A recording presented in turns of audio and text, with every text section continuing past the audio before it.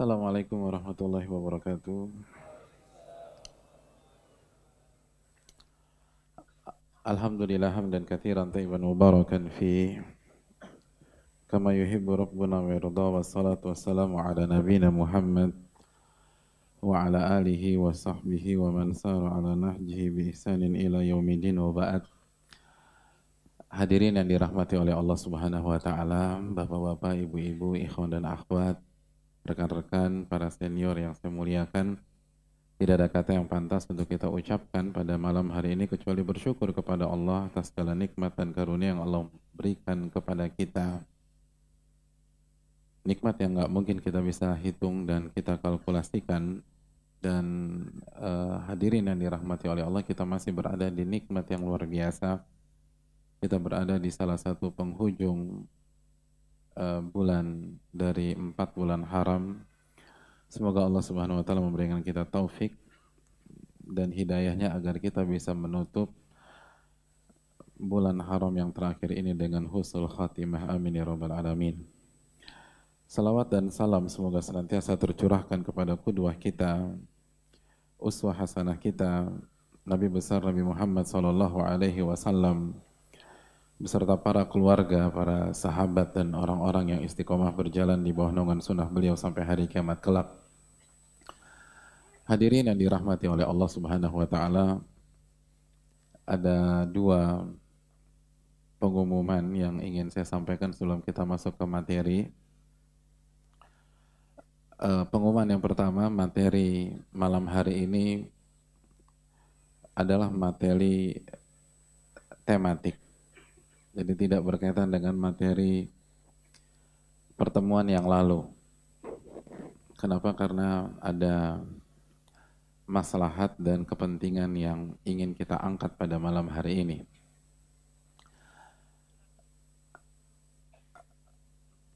Pengumuman yang kedua dan pengumuman yang kedua ini kabar sedih buat antum. Dengan berat hati ujian harus kita undur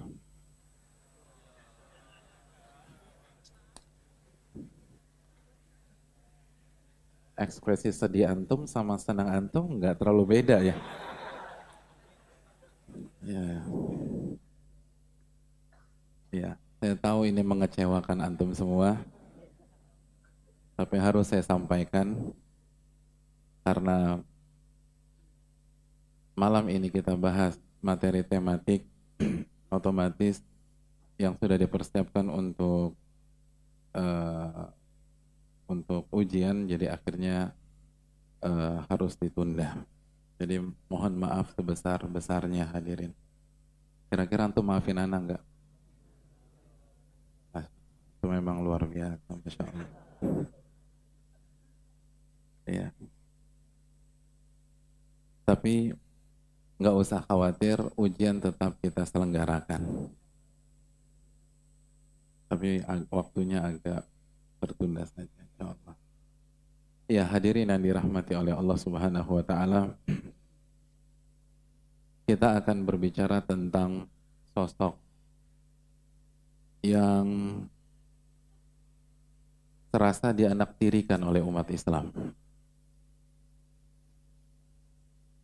Nabi Shallallahu Alaihi Wasallam yang menyatakan ini.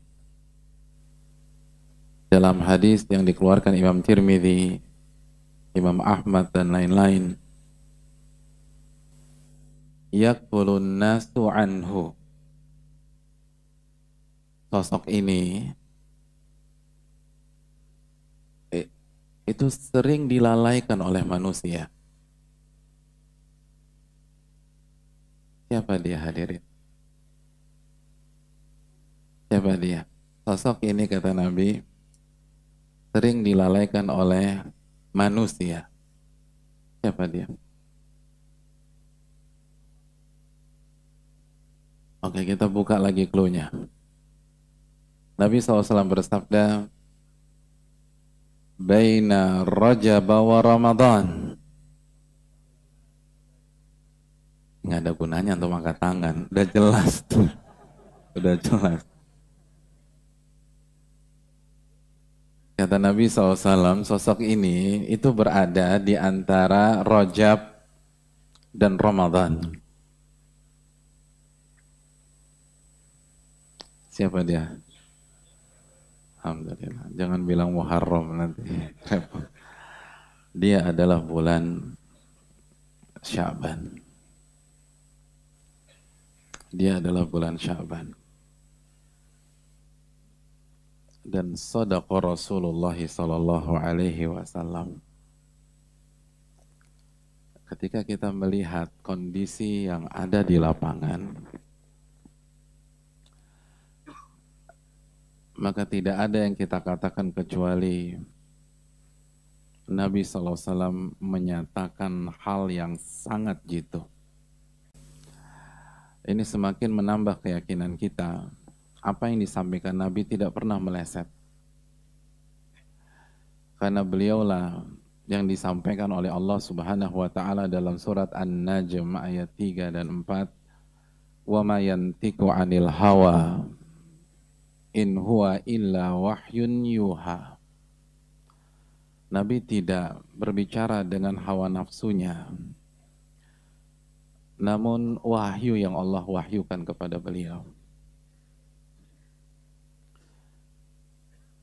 jarak antara kita dengan Sya'ban hanya hitungan mungkin bisa kita katakan hitungan jam.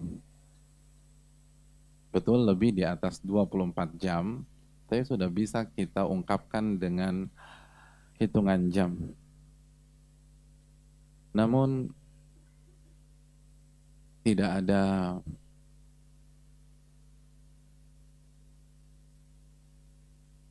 penyambutan secara nyata. Ada penyambutan. Banyak hamba-hamba Allah yang mengerti sunnah ini. Tapi yang terlihat sangat jauh berbeda ketika kita berada di Hamin 5, Hamin 4 bulan suci Ramadan misalnya. Kita berada di penghujung bulan Sya'ban, kita sudah bisa lihat baleho-baleho di beberapa spot Jakarta bertuliskan marhaban ya Ramadan.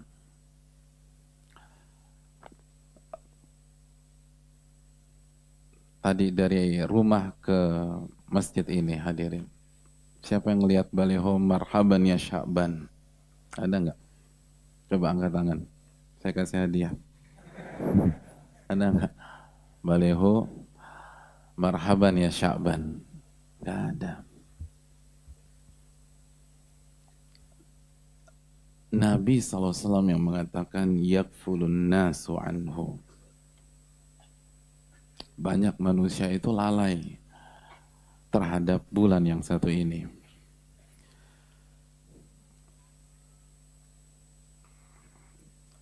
Lalu Nabi jelaskan alasannya hadirin. Kata baginda Rasul Sallallahu Alaihi Wasallam, karena dia berada di tengah-tengah antara Rajab dan Ramadan. Jadi memang posisinya nih kurang. Sehingga mata-mata manusia tertuju pada Rajab dan Ramadan. Rajab satu dari empat bulan haram, dan yang satu lagi nggak kita sanksikan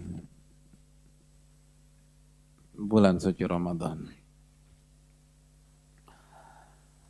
Jadi bukan karena dia nggak spesial, kita akan jelaskan nanti ini bulan spesial, tapi karena posisinya di antara satu bulan haram dan satu bulan Ramadan.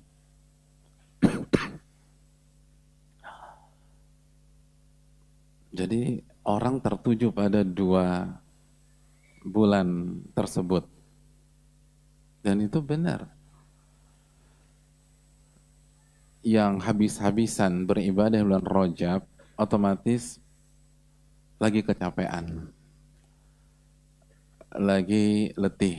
Mungkin butuh refreshing, butuh menghirup udara segar dulu sebelum dia berpikir akan masuk di Ramadan. Atau sebaliknya, sudah langsung berbicara tentang Ramadan. Makanya saya ingin tanya sama Antum. Insya Allah kalau kita bertemu dengan Ramadan dan Sya'ban di bulan ini, Sya'ban dan Ramadan eh, tahun ini, itu yang keberapa bagi Antum? Yang keberapa? Yang pertama atau yang kedua? Eh? Antum udah punya pengalaman belum ketemu dengan Sya'ban dan Ramadan di tahun-tahun sebelumnya? Gak punya? Hah? Antum lahir tahun lalu? Bukan. Coba. Materi-materi yang diangkat di bulan Sya'ban. Materi ini, dari awal Sya'ban, apalagi sampai akhir Sya'ban, mayoritas tentang apa? Ramadan.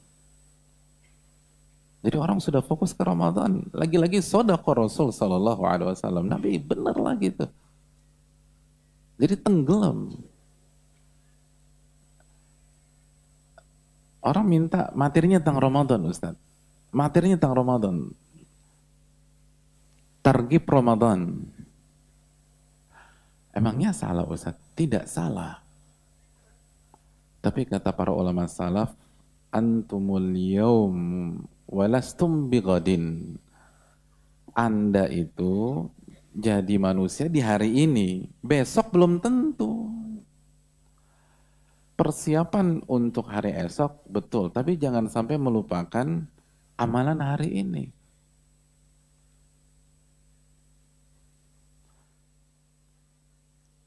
Besok dipersiapkan, hari ini jangan lupa. Jadi tidak ada masalah. Target Ramadan harus. Tapi ketika kita lupa tentang Syaban karena terlalu karena konsentrasi kita 100% ke Ramadan, ini yang dikatakan Nabi kita Sallallahu Alaihi Wasallam. Antara Rajab dan Ramadan.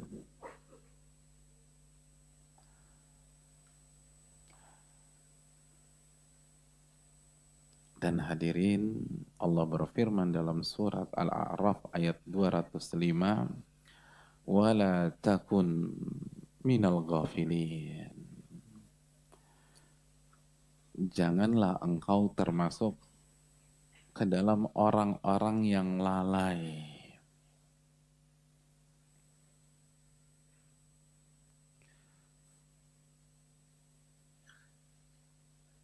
Janganlah engkau termasuk ke dalam orang-orang yang lalai. Kalau kita korelasikan antara ayat ini dengan hadis kita pada malam hari ini, maka kesimpulan kesimpulannya ketika banyak manusia lalai terhadap hak bulan Sya'ban, lupa menyambut dan menjamu bulan Sya'ban, wala takum minal ghafilin. Allah berfirman, kamu jangan bergabung sama orang-orang yang lalai. Jangan ikut-ikutan lalai. Berarti kita harus sambut bulan ini. Kita harus jamu dia. Kita harus penuhi hak-haknya.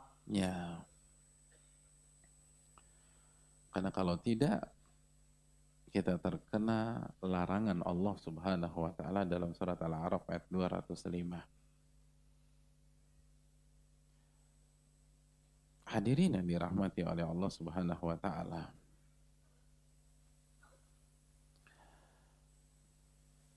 Bulan ini istimewa. Dan banyak mengandung hal-hal yang dilupakan oleh banyak orang. Apa keutamaan bulan ini? Sehingga kita termotivasi, tercambuk tertrigger untuk beribadah di bulan ini. Keutamaan bulan Syaban yang pertama. Hadirin yang dirahmati oleh Allah Subhanahu wa taala. Fakta hadis di atas bahwa bulan Sya'ban adalah bulan yang dilalaikan oleh manusia itu memberikan kita sebuah peluang beribadah. Memberikan kesempatan kita mendapatkan pahala yang berlipat ganda. Karena ulama mengatakan beribadah di waktu manusia lalai itu pahalanya jauh lebih besar dibanding waktu normal.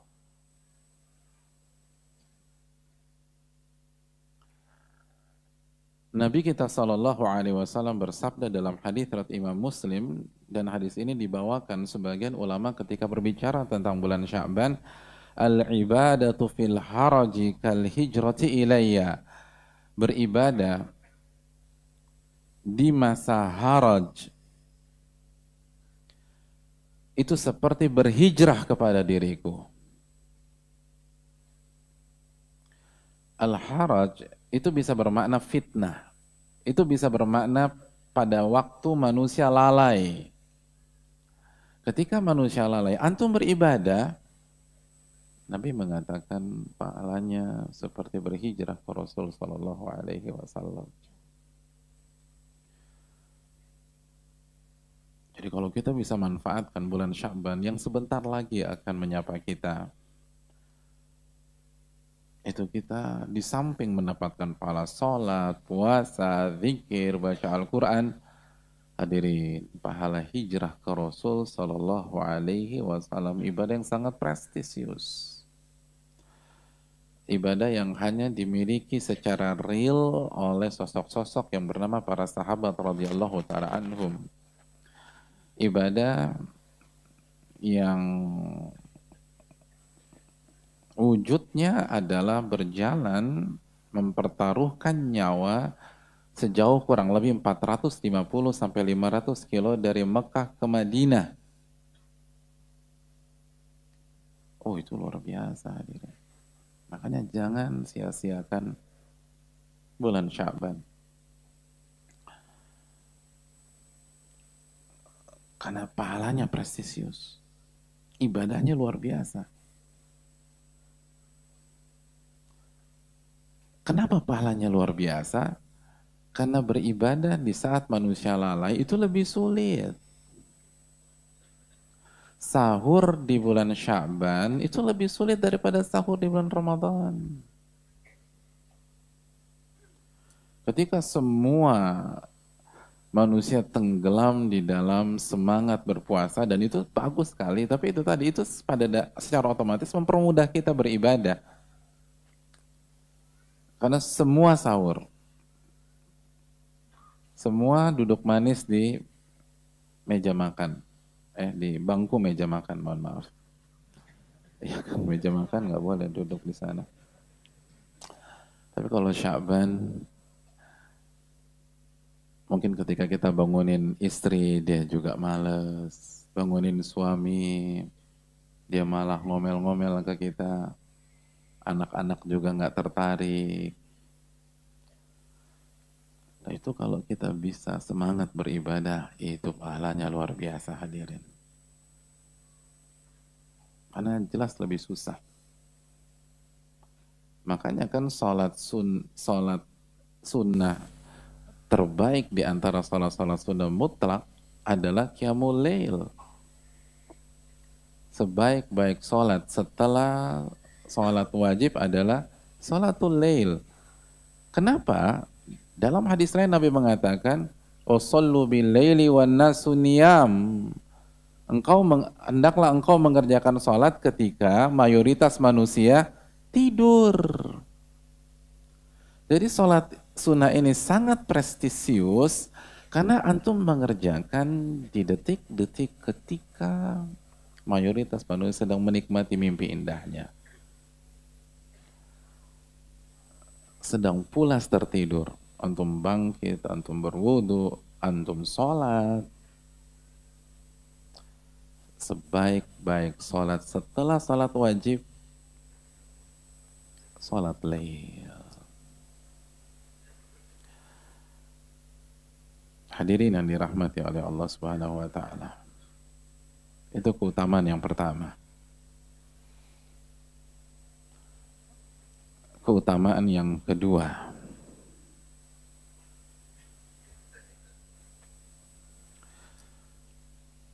Sebagian para ulama menjelaskan bahwa bulan Sya'ban adalah bulan melatih keikhlasan kita.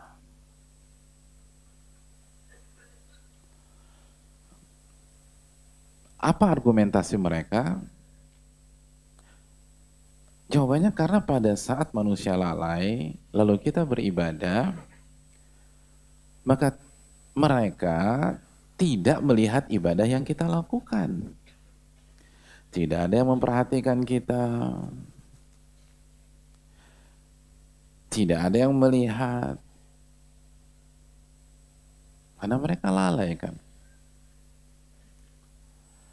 Otomatis ketika mereka tidak memperhatikan, mereka juga nggak terlalu melihat kita. Mungkin lihat tapi lihat sekilas, maka mereka pun tidak memuji kita. Dan itu sangat bagus buat keikhlasan kita.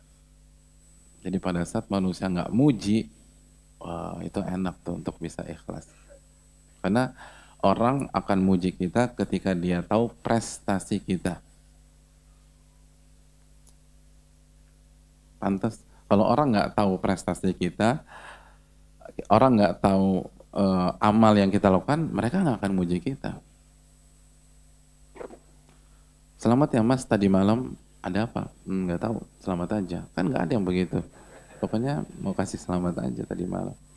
Aku juga nggak tahu kamu ngapain. Oh tadi, selamat ya tadi malam mainnya bagus misalnya gitu. Selamat ya tadi malam suaranya enak tuh mas pas terawih. Masya Allah itu kan orang tahu.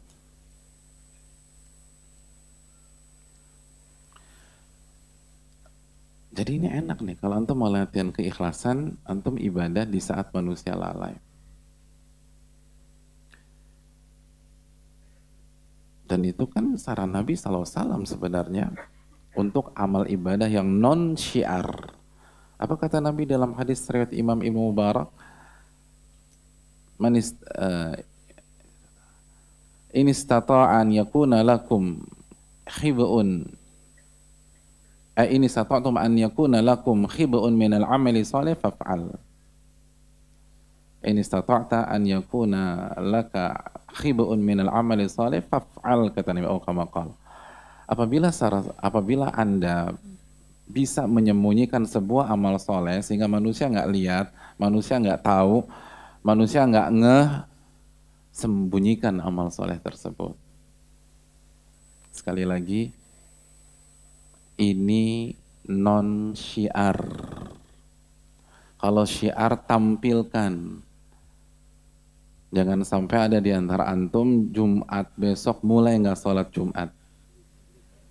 Kenapa? Di rumah Pak Ustadz. Nyembunyiin amal. Sabda Nabi SAW.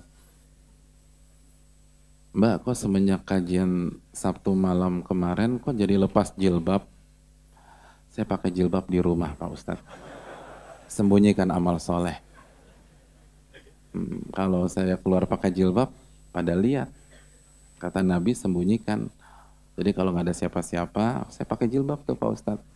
Hanya untuk Allah Subhanahu Wa Taala. Gimana? Gak bener nih. Jilbab itu syiar. Harus ditunjukkan.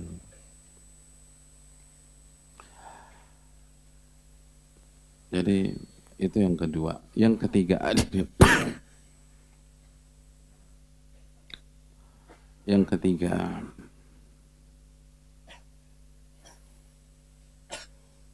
bulan ini atau bulan Syaban bulan di mana amal ibadah kita setahun penuh diangkat kepada Allah Subhanahu wa taala.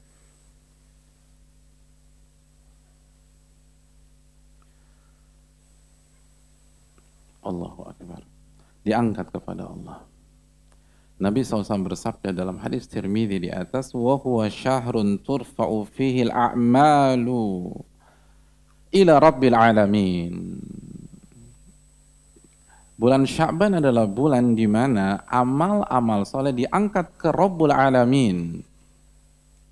Fa'uhibbu an yurfa'a amali wa ana sa'im. Oleh karena itu aku ingin ketika amal-amalku diangkat, aku dalam kondisi berpuasa. Itu kata Nabi SAW. Jadi begitu masuk bulan Syaban, amal-amal ibadah kita setahun ini dari Ramadan ke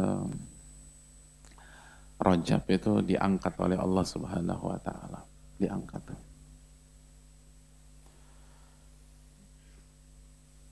Hadirin yang dirahmati oleh Allah Subhanahu wa taala. Coba deh pulang dari sini kita renungkan satu tahun ini apa amalan kita. Berapa kali khatam dari Ramadan ke Rajab?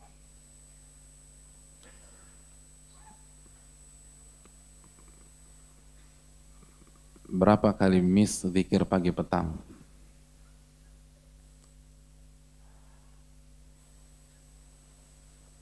Bagaimana murojaah hafalan Quran kita? Coba kita lihat tahun ini berapa kali kita nggak masuk kajian? Terus sholat kita gimana hadirin? Sholat lima waktu kita atau sholat duha rawatib sholat rawatib itu dijaga nggak nih satu tahun ini lalu puasa Senin Kamis puasa-puasa ayamul bil infak sedekah kita berapa setahun ini terus kalaupun lumayan lumayan sedikit maksud saya yang lumayan sedikit itu berapa persen yang ikhlas kepada Allah Subhanahu wa taala? Berapa persen yang khusyuk? Berapa persen dari salat kita benar-benar mencerminkan inna salata tanha 'anil fahsya'i wal munkar setelah kita salam. Salat itu mencegah perbuatan keji dan mungkar.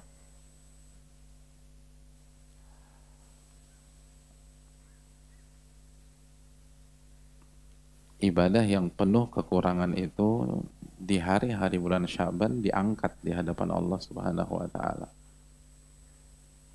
Diangkat hadirin.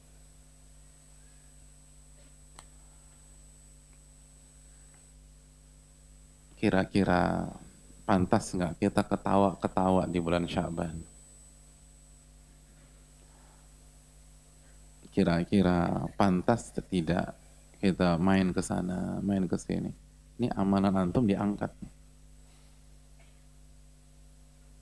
Hasil kerja keras selama satu, satu tahun itu dikasih, diangkat.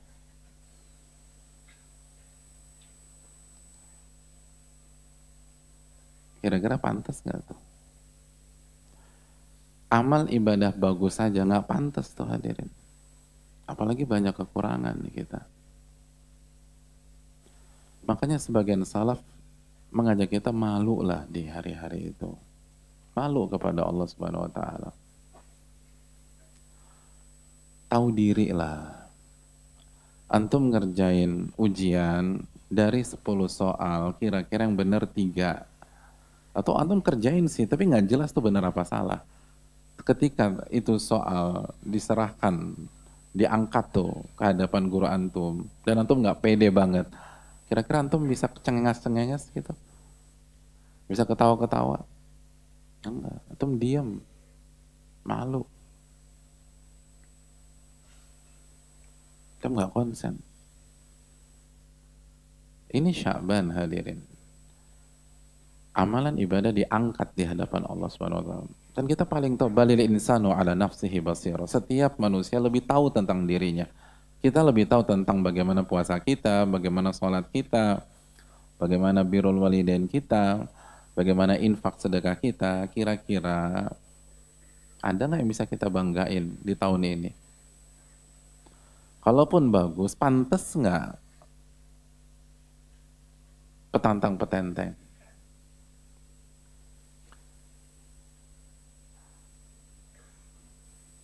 Hadirin. Oleh karena itu, Nabi SAW menyatakan fauhibbu an yurfa'a amali wa ana saim. Dan aku ingin ketika amal ibadahku diangkat, aku dalam kondisi berpuasa. Dan ibadah yang sangat kental dengan bulan Syaban adalah puasa. Kenapa puasa hadirin? Kenapa Nabi nggak sebutkan ibadah lain? Kenapa puasa? Sebagian ulama menjelaskan karena puasa adalah salah satu ibadah yang sangat cocok dengan karakter bulan Sya'ban. Apa yang terjadi di bulan Sya'ban? Karena salah satu yang terjadi di bulan Sya'ban adalah amal ibadah kita diangkat di hadapan Allah Subhanahu wa taala. Amal ibadah yang begitu terbatas, begitu banyak kekurangan, begitu amburadul, begitu jauh dari kata sempurna. Maka seorang hamba yang tahu diri dia harus bersikap tawatu di hadapan Allah. Bersikap penuh kerendahan di hadapan Rabbul Alamin. Bersikap rendah, hina, dina di hadapan Maliki Yaumiddin. Dia harus tunjukkan kelemahan dia. Jangan sok jago.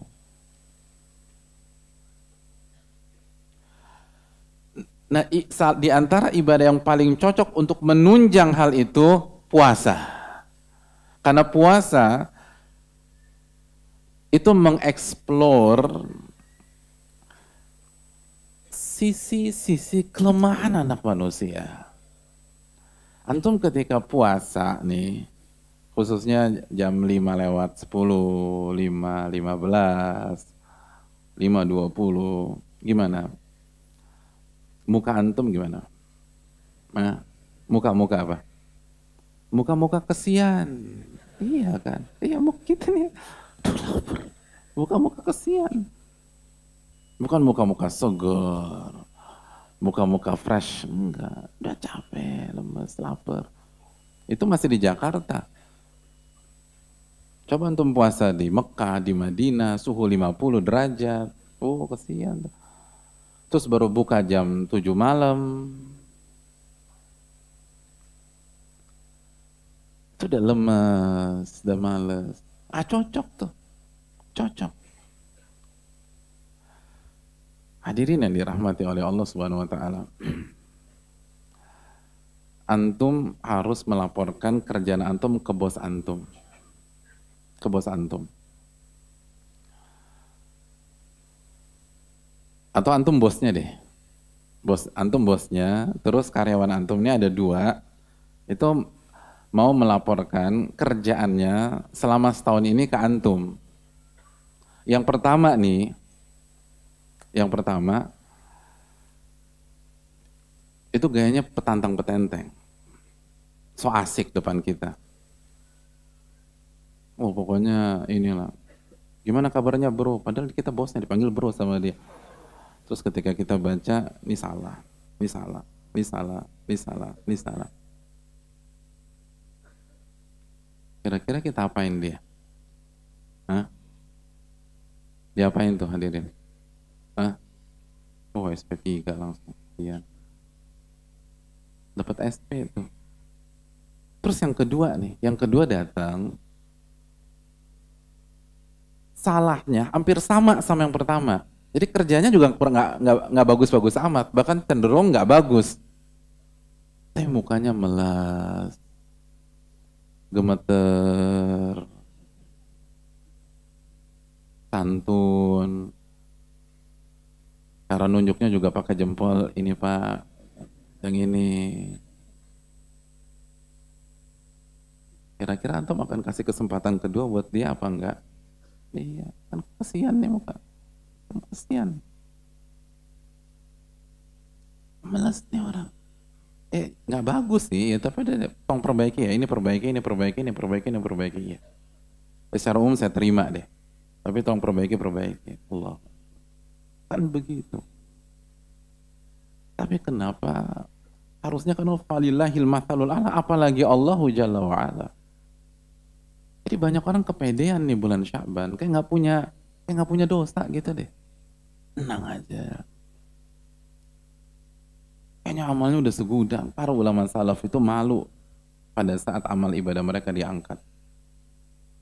Itu yang khatamanya tiap hari tiga, eh, tiap khatam tiga hari sekali, tiga hari sekali khatam, tiga hari sekali. Itu malu tuh kalau amal ibadah mereka diangkat. Kita tiga tahun khatam, tiga tahun khatam, santai aja tuh deh. Gak ada beban. Bayangkan. Kataman yang Ramadan kemarin tuh cicilan dari Ramadan tiga tahun lalu. Ada yang begitu. Tapi kayak nggak ada beban. Hadirin, begitu masuk Syaban yang harus ada di benak kita dan hati kita, ini amal-amal kita satu demi satu diangkat oleh Allah.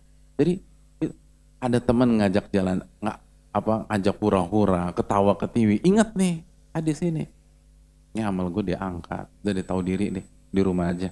Perbanyak istighfar kepada Allah Subhanahu Wa Taala. Itu ngajak kongko kongko nggak jelas. Ingat nih hadis ini. Ya pengen sih tapi sholat gue lagi diangkat nih di hadapan Allah. Gue baru bisa istiqomah tiga waktu lagi tahun ini. Udah nggak usah deh gue mau tobat kepada Allah. Itu tobat istighfar kepada Allah. Terus itu tunjukin deh melasnya kita tuh tunjukin. Rendahnya kita di hadapan Allah tuh ditolong ditunjukkan. Karena bulan ini adalah bulan di mana amal ibadah diangkat oleh Allah. Kita lanjutkan pada salat isya. Wa sallallahu ala Muhammad wa ala alihi wasallam Assalamualaikum warahmatullahi wabarakatuh. Alhamdulillah wassalatu wassalamu ala rasulullah wa ba'd Hadirin yang dirahmati oleh Allah Subhanahu wa taala, dzalika syahrun turfa'ul a'malu ila rabbil alamin. Bulan itu adalah bulan di mana amal ibadah diangkat di hadapan Rabbul Alamin. Oleh karena itu hadirin yang dirahmati oleh Allah, jika kita uh, tidak mengerjakan tugas yang baik, paling tidak tahu dirilah ketika tugas itu diserahkan. Tahu dirilah ketika tugas itu diserahkan. Dan sampai ketika kita punya tugas matematik, lalu kita nggak kerjakan itu dengan baik, lalu kita serahkan sambil main gadget. Ini Pak, Bapak periksa sendiri. Sambil nelfon. Nih tugas saya Pak. Padahal dari 50 soal yang benar cuma tiga. Atau ngobrol, sambil ngobrol Pak bulan Sya'ban amal-amal kita diangkat di hadapan Allah Subhanahu wa taala. Lalu kira-kira pantas nggak kalau waktu kita habis buat gadget, habis buat ngobrol, sedangkan pada saat itu salat kita yang begitu kekurangan, bacaan Quran kita yang nggak tamat-tamat dan khatam-khatam tersebut diangkat di hadapan Rabbul Alamin. Berikutnya hadirin yang dirahmati oleh Allah, bulan Sya'ban kata para ulama adalah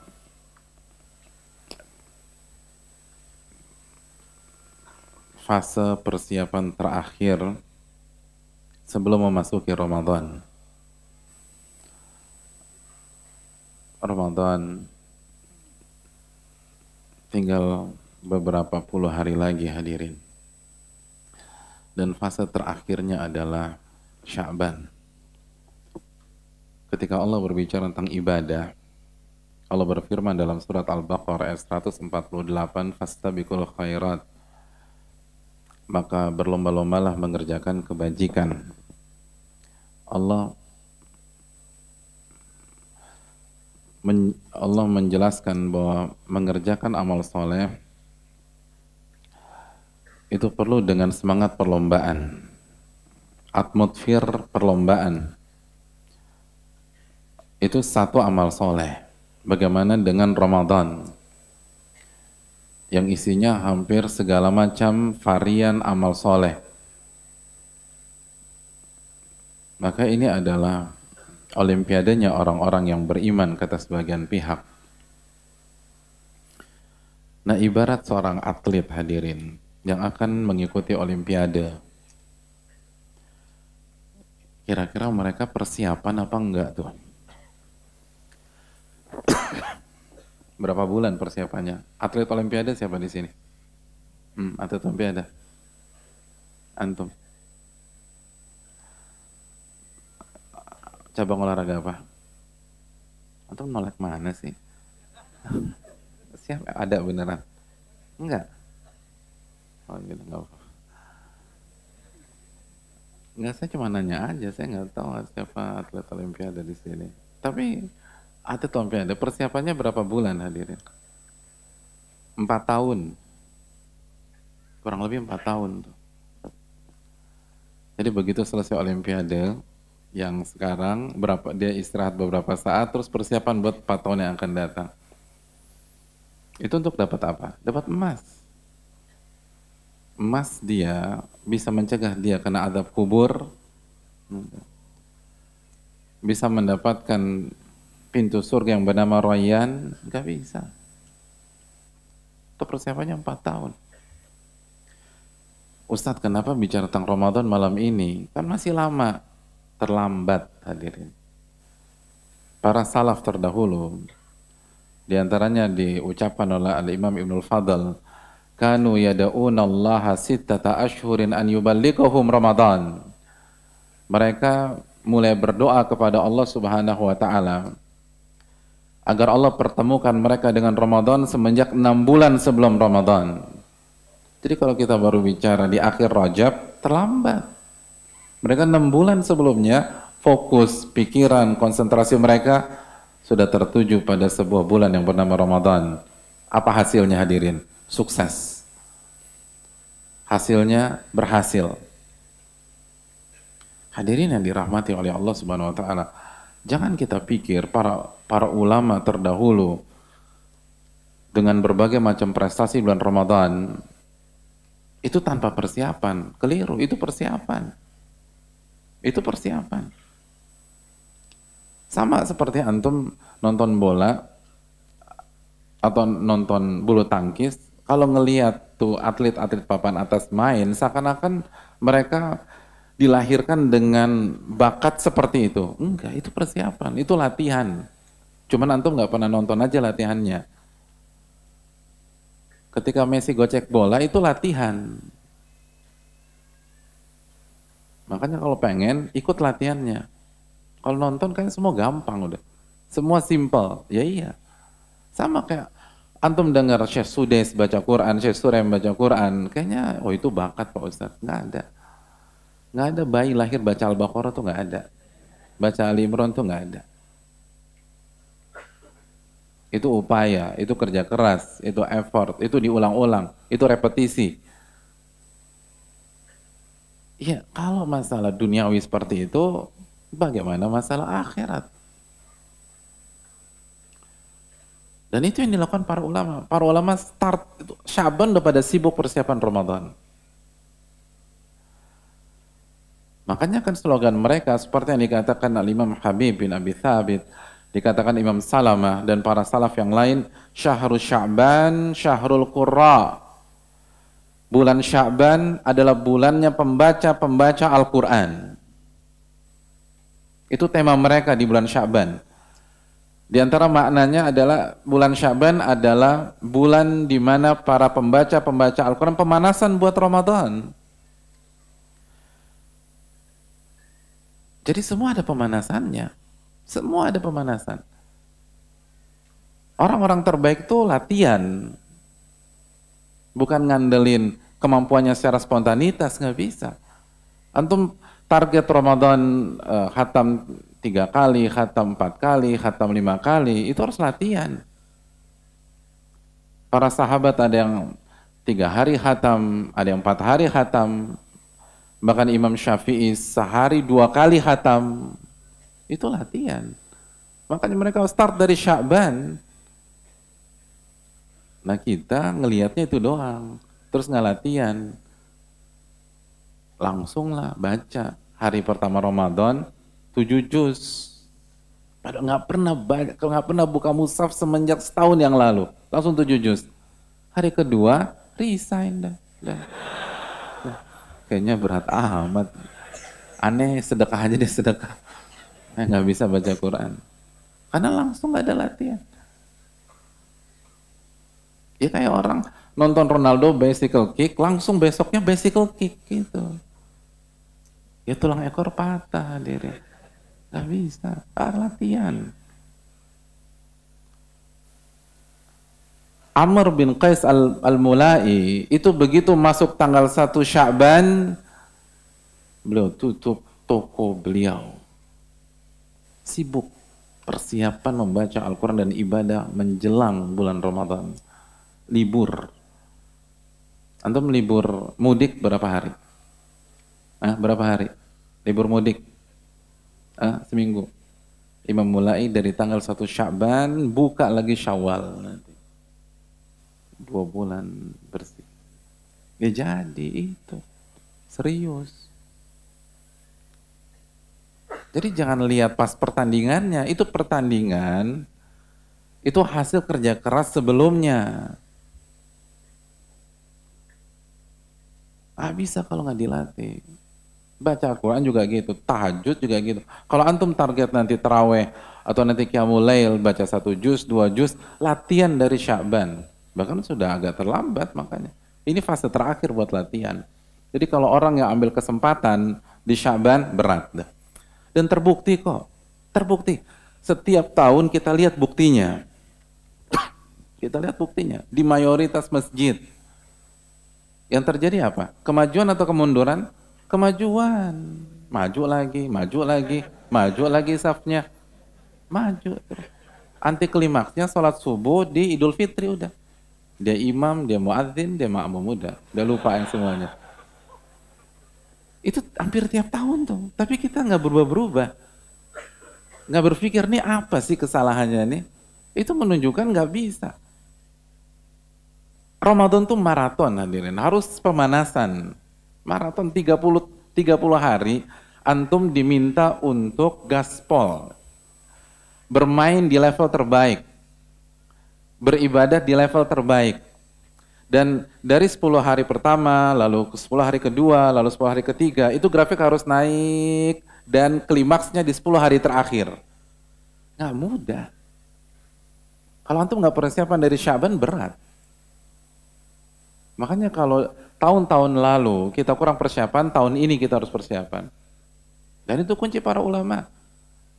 Mereka nggak mulai di satu Ramadan, mereka mulai dari Sya'ban, mereka mulai dari Rajab, mereka mulai dari bulan-bulan, enam bulan udah start fokus Ramadan. Sukses. Nah kita tiba-tiba masuk nggak bisa. Terbukti habis bensin tengah jalan lagi, habis bensin tengah jalan lagi, nggak bertahan udah, nggak bertahan. Karena metodenya begitu, nggak ada persiapan, nggak ada pemanasan.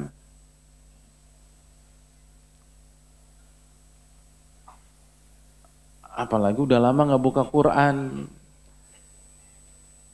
Ya sederhana, antum punya mobil nih, mobil antum mobil udah mahal deh, udah deh kira-kira dan udah enam bulan nggak pernah dinyalain tuh mobil. Begitu antum nyalain langsung gas, kira-kira aja apa tuh? Nggak bisa, nggak jalan. Panasin dulu mas. Tuh aki rusak. Antum nggak pernah start. Oh enggak nih mobil saya di atas 2M, mau 2M, mau 3M, mau M, nggak bisa. Panasin dulu.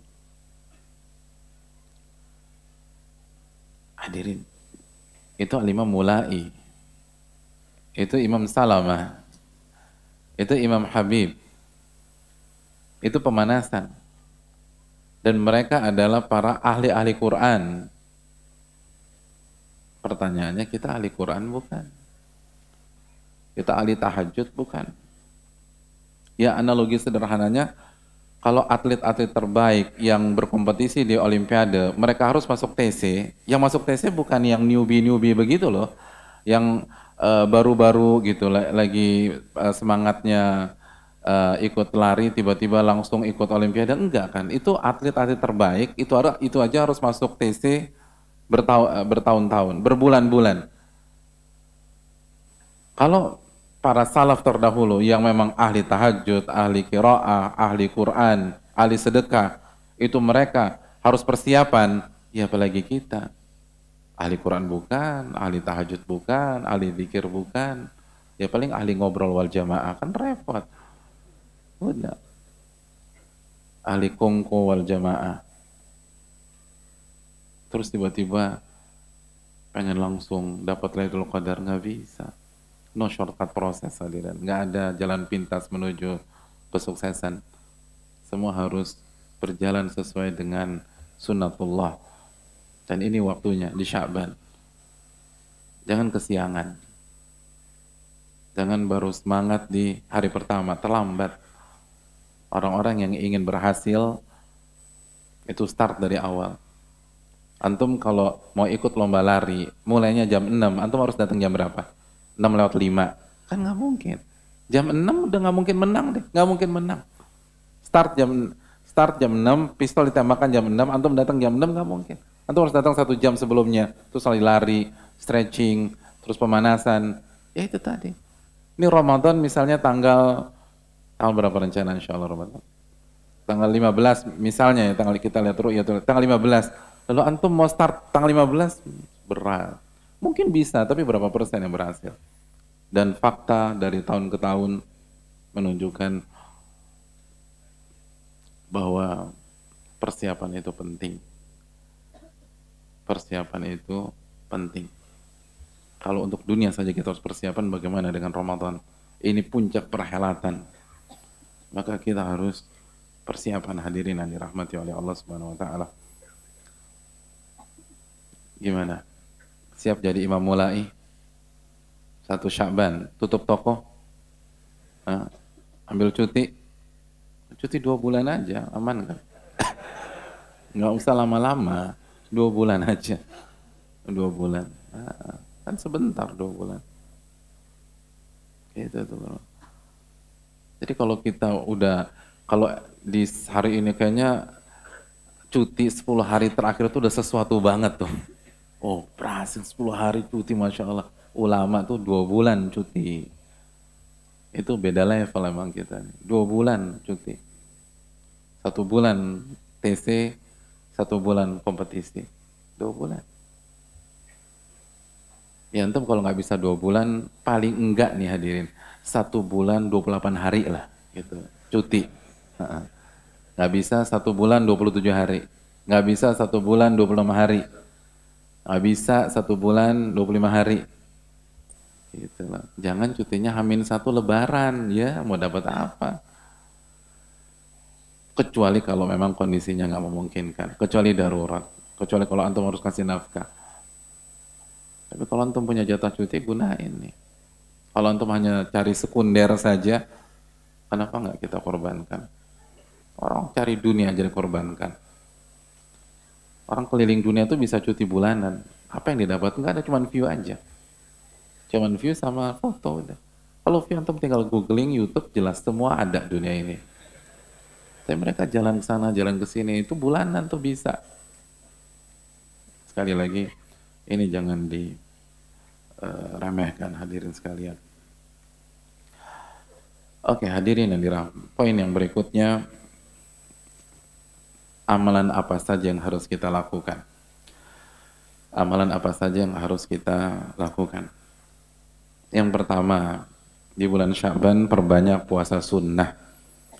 Perbanyak puasa sunnah. Karena sebagian orang ada yang belum tahu Inna ahabba syuhuri ilan nabi an yasuma sya'ban Sesungguhnya bulan yang paling disukai oleh Nabi untuk berpuasa itu Sya'ban Hadis sahih Imam Abu Daud. Jadi sesungguhnya bulan yang paling Nabi sukai untuk berpuasa itu Sya'ban. Bahkan dalam hadis Imam Muslim kan kana yasumu Sya'bana illa qalila. Nabi itu berpuasa di bulan Sya'ban Kecuali beberapa hari saja yang beliau lepaskan. Jadi hanya beberapa illa qalila beberapa hari. Berarti saya ingin tanya, maksimalnya Nabi berpuasa bulan Syaban, puasa Nabi Daud atau lebih dari Nabi Daud? Kalau Nabi hanya berpuasa sampai Nabi Daud saja, berarti hadisnya apa? Nabi berpuasa setengah di bulan Syaban, tapi hadisnya nggak begitu. Karena yasumu Sya'bana illa qalila. Nabi berpuasa di bulan Syaban kecuali beberapa hari saja. Dan antum tinggal pilih, mau di awal antum bolongin, mau di tengah bolongin, mau di akhir dibolongin, tapi jangan awal, tengah, akhir bolong semua itu jangan. Bolongin sekali. Karena itu tadi sebagian para ulama nggak suka seperti Imam Syafi'i nggak suka kalau kita berpuasa satu bulan penuh kecuali di bulan suci Ramadan. Dan hadirin yang dirahmati oleh Allah Subhanahu wa taala, uh, fungsi puasa atau memperbanyak puasa sunnah di bulan Sya'ban. Atau keutamaan ya atau keutamaan atau manfaat yang antum akan dapatkan. Kalau antum perbanyak puasa sunnah di bulan Syaban yang pertama sekali lagi pemanasan sebelum puasa Ramadan. Pemanasan. Yang kedua tadi sudah kita jelaskan puasa ini adalah salah satu puasa yang paling cocok dengan momen di bulan Syaban itu ketika amal diangkat di hadapan Allah hendaknya kita bersikap merendah, melas di hadapan Rabbul Alamin. Dan yang paling mengekspos kemelasan kita di antaranya adalah puasa sunnah di bulan Syaban.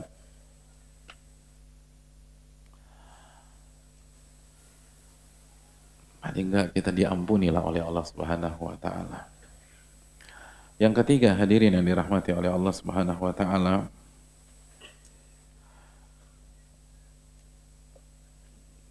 Sebagian para ulama seperti Al-Imam Ibn Rajab menyatakan bahwa kedudukan puasa Sya'ban dengan Ramadan itu ibarat sholat rawatib dengan sholat wajib.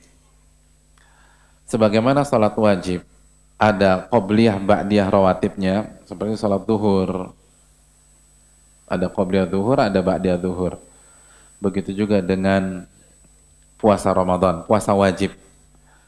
Dia punya qobliyah, yaitu Sya'ban, dan dia punya Ba'diyah. Apa Ba'diyahnya? Enam hari di bulan Syawal. Makanya Al-Imam Ibn Rajab menyatakan bahwa puasa Sya'ban itu lebih afdol daripada puasa di bulan-bulan haram. Walaupun sekali lagi ada silang pendapat dalam masalah ini. Tapi terlepas dari itu, ini puasa prestisius hadirin. Perbanyak puasa di bulan Syaban. Yang ketiga, yang ketiga, fungsi puasa di bulan Syaban adalah untuk menutupi kekurangan kita saat kita melakukan puasa Ramadan menutupi kekurangan puasa kita di bulan Ramadan. Karena itulah salah satu fungsi rawatib. Dan ini dijelaskan oleh Hafidh Ibn Rajab dalam Lataiful Ma'arif. Jadi nggak ada yang sempurna. Siapa yang bisa godul basar 100% di bulan Ramadan? Siapa yang bisa uh, mempuasakan telinganya 100% di bulan Ramadan? Kan yang bisa. Nah makanya kita tutuplah kekurangan kita dengan qobliyahnya Sya'ban dan ba'diyahnya nanti Syawal sebagaimana dikatakan Allah Imam Ibn Rajab Al-Hanbali rahimahullahu taala.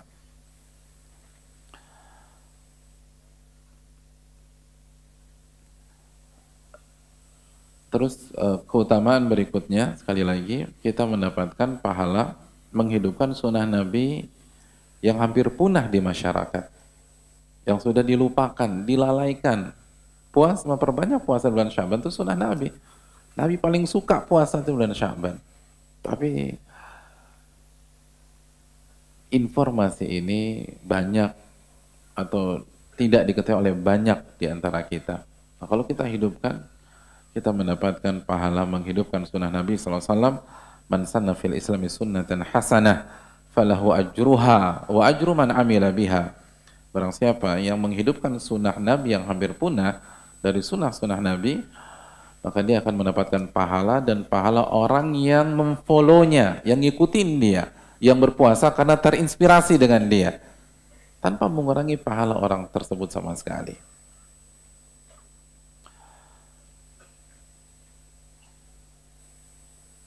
Itu hal yang uh, jadi puasa itu di, dimaksimalkan hadirin.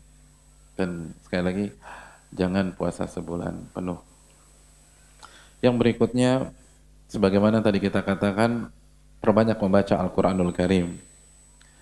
Sebagaimana ucapan Al-Imam Habib, Al-Imam Salamah, Syahrul Sya'ban, Syahrul Qurra. Bulan Sya'ban adalah bulannya pembaca-pembaca Al-Quran. Qari-qari Al-Quran. Dan antum baca lagi keutamaan membaca Al-Quran ketika masuk bulan Syaban biar termotivasi. Dan ingat, prestasi antum di bulan Ramadan itu ditentukan persiapan antum di bulan Syaban.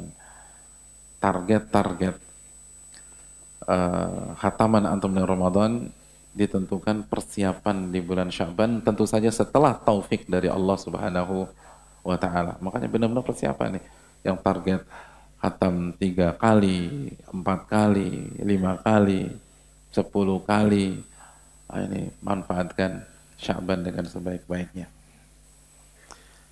Yang berikutnya hadirin yang dirahmati oleh Allah Subhanahu wa taala.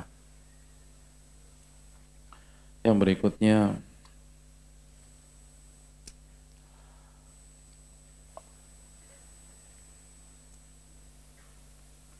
yang hendaknya kita lakukan di bulan Syaban hindari perselisihan, perdebatan, perkelahila, perkelahian,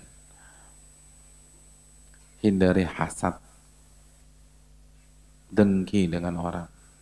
Usahakan hati kita bersih. Bulan Syaban adalah momentum untuk menata hati.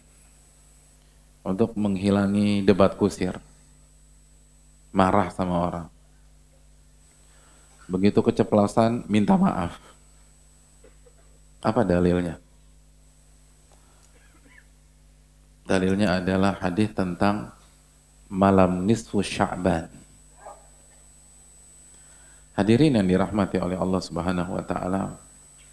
Ada sebuah hadis yang sahih dikeluarkan Imam Ibnu Majah dan lain-lain dan dihasankan oleh Syekh Albani dan beberapa para ulama yang lain Syekh Masyur juga punya buku khusus masalah ini. Hadis itu berbunyi, Inna Allah la yatali fi laylati nisfi min sya'ban. Sesungguhnya Allah akan memperhatikan hamba-hambanya secara khusus di malam nisfu sya'ban. Malam nisfu sya'ban itu malam keberapa? Ah? Malam keberapa? Malam ke-20 atau malam ke-17? Ah? Yang 17 siapa? Yang 20? Iya. Malam nisfu Syaban malam ke-15. Malam ke-15. Nisfu itu setengah. Nisfu itu setengah.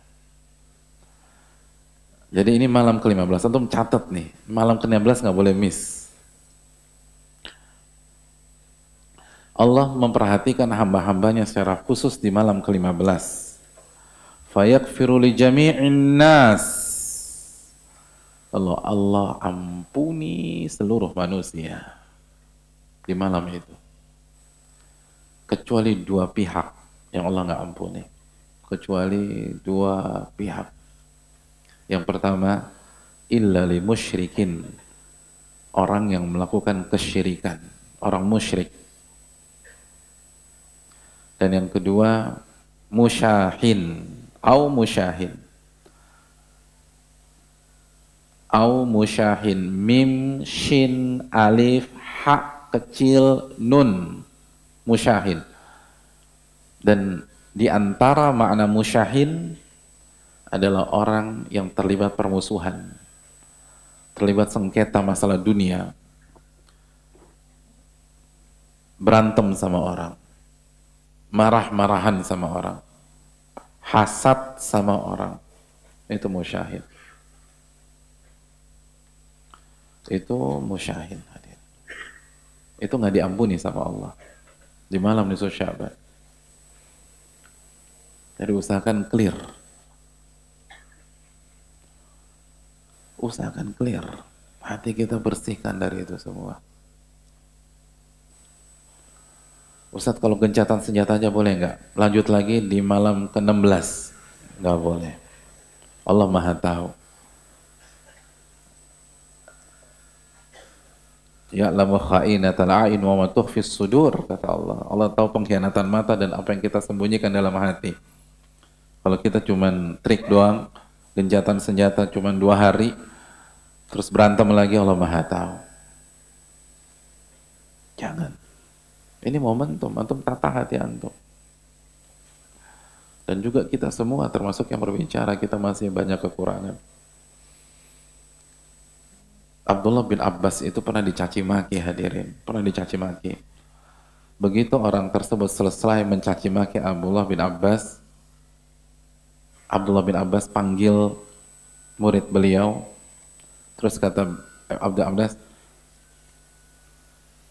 tanya dia, halahu hajatun naqdiha, tanya dia, dia butuh sesuatu enggak yang bisa kita bantu? Allahu Akbar habis caci maki ini. Tanya sama dia, dia butuh sesuatu nggak yang bisa kita bantu tuh. Itu tuh orang malu, diem hadirin. Dan tentu saja ini nggak mudah. Dan yang berbicara belum tentu lebih bagus menerapkannya daripada yang mendengarkan pada malam hari ini. Tapi ini harus jadi cambuk kita untuk belajar lagi. Belajar lagi. Ini mumpung nih. Allah kasih tawaran menarik. Semuanya diampuni kecuali musyahin dan musyrik. Dan musyahin salah satu maknanya orang yang terlibat masalah, masalah dunia. Pokoknya sekali lagi jangan sampai hati kita itu sakit hati, hancur, merasa marah itu cuma gara-gara dunia. Itu harus kita latih. Bukan berarti yang berbicara sudah jago mengamalkannya, tapi ini teori yang harus kita amalkan. Itu kata Ibnu Abbas. Jangan berantem. Jangan berantem. Dan pas antum nahan jangan ngancem. Entar lo ya, tanggal 16 lo ya, entar lo. Ya, enggak, enggak usah. Selesai. Khususnya di rumah. Kadang-kadang kita nggak terpancing di, di luar, kita terpancing di rumah. Sama istri jangan berantem deh. Ini momen nih, kalau antum bisa latih. Insya Allah antum akan lebih mudah ke depan. Apalagi kan setelah ini ketemu Ramadan. Jadi semakin banyak nih eh, support-support agar kita bisa mengendalikan diri. Jadi latih itu hadirin. Jangan jangan banyak debat, udah ngalah aja ngalah. Dan khususnya sama orang tua. Kalau selama nggak haram udah ngalah aja deh. Atau diem dah. Hadirin, Abu Hanifah itu punya ibu yang uniknya luar biasa. Unik ibunya Abu Hanifah. Rahimah. Satu dari empat imam madhab.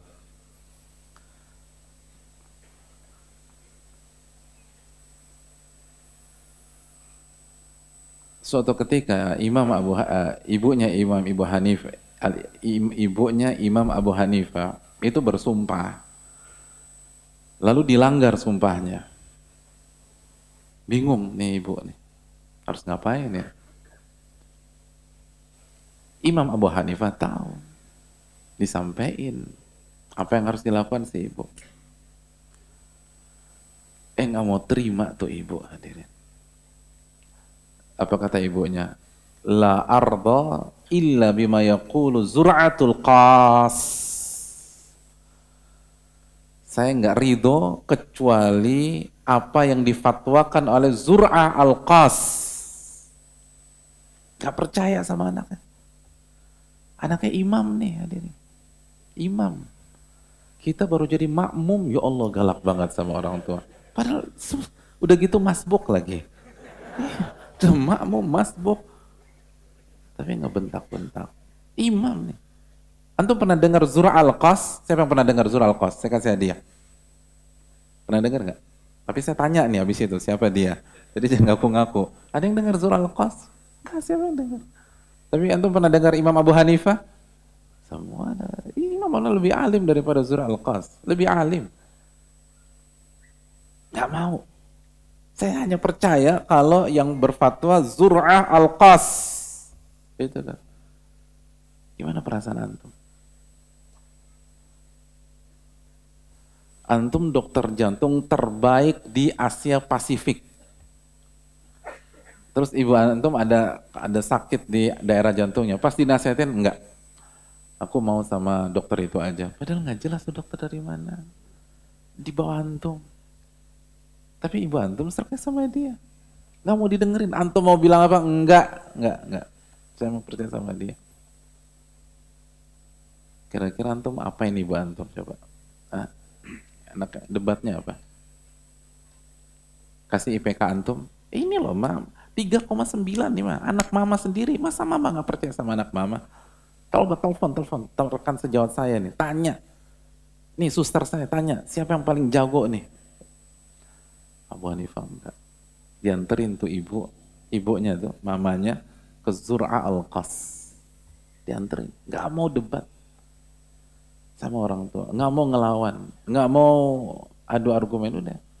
Selama kan benar Zur'a al-Qas juga ngerti, udah kita pergi ke Zur'a al-Qas. Diam aja Abu Hanifah. Begitu sampai surah Al-Qas cerita tuh mamanya Abu Hanifah dengan polosnya aku ini bersumpah terus sumpahnya itu dilanggar kira-kira apa ya hukumnya ya? Gitu dengan gaya polos seorang uh, ibu. Itu surah Al-Qas shock hadirin. Kata dia uftiki wa ma'aki faqihul kufah. Saya berfatwa di hadapan engkau, wahai ibu, dan di sampingmu itu pakar fikihnya Irak. Gimana sih berfatwa? Ya nanya situ, jangan nanya saya. Kalau mau nanya situ tuh. Kok nanya saya? Oh grogi, atau bayangin. Coba gimana? Ibunya Syabdur Rozak datang kantum, nanya kantum. Depannya Syabdur Rozak. Kira-kira antum gimana? Oh shock gitu. shock. Karena Syekh Abdul Razak kok nanya ke saya. Bingung antum. Itu Abu Hanifah itu langsung deketin Zura Al-Qas terus bisik-bisik. Udah jawab aja begini, begini, begini. Dikasih tahu jawabannya. Dan Zura Al-Qas jawab persis seperti bocorannya Abu Hanifah. Terus ibunya, ah ini baru benar jawaban. Ah, ini jawaban benar. Seneng ibu itu. Ibunya seneng. Pulang dia udah. Pulang. Subhanallah. Seneng tuh ibunya tuh. Dan Abu Hanifah nggak ada. Waqfit lakum rahmah. Ya, turunkan kepakan sayap kalian di hadapan mereka berdua. Ini imamnya dunia hadirin, imamnya dunia. Gitu tuh depan ibunya. Gak malu, gak minder. Jadi anterin tuh ibunya tuh. Walaupun ibunya nggak percaya sama fatwanya nggak masalah. Yang penting ibunya senang, nggak percaya. Dan Abu Hanifah nggak bilang, tuh kan aku bilang juga apa ma, mama sih nggak mau denger aku. Ah capek nih ngadepin mama, nggak ada bilang gitu. Mama tuh keterlaluan. Kalau orang lain aja bicara mama percaya. Ma, anak mama sendiri nih mah darah daging mama mah gitu. Enggak enggak bilang gitu. Udah ibunya senang pulang tuh dua anak. Anak dan ibu pulang. Rahimahullah. Ini bulan mau masuk bulan Sya'ban hadirin.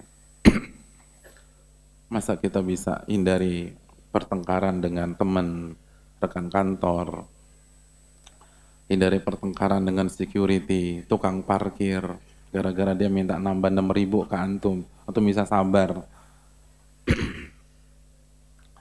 Lalu antum bisa sabar ketika jalan antum diambil oleh sopir angkot, masa sama istri kita nggak sabar, suami kita nggak sabar. Lalu yang terpenting adalah orang tua orang tua kita. Atau anak-anak kita hadirin. Hindari perdebatan ini Sya'ban kecuali kalau antum ingin dosa-dosa kita nggak diampuni oleh Allah. Na'udzubillah na'udzubillah. Yang berikutnya hadirin yang dirahmati oleh Allah.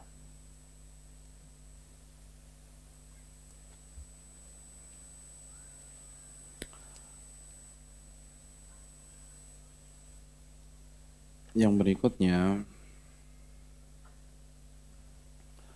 hindari sifat membenci para sahabat Nabi SAW atau berkata negatif tentang mereka.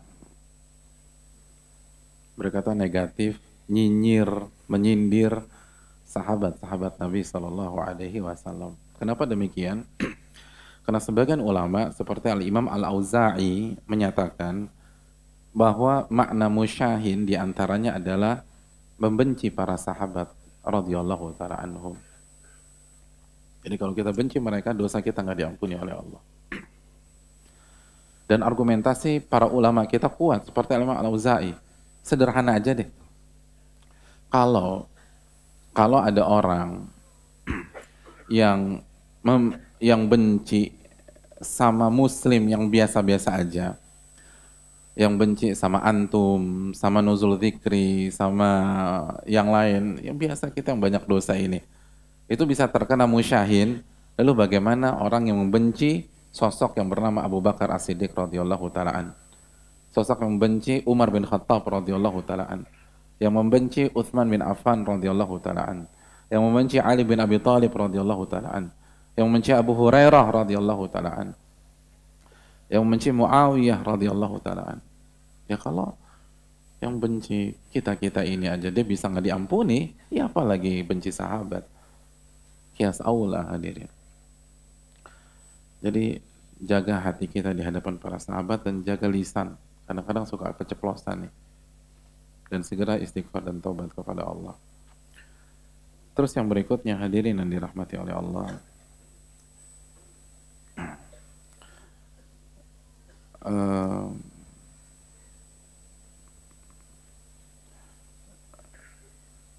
jaga diri dari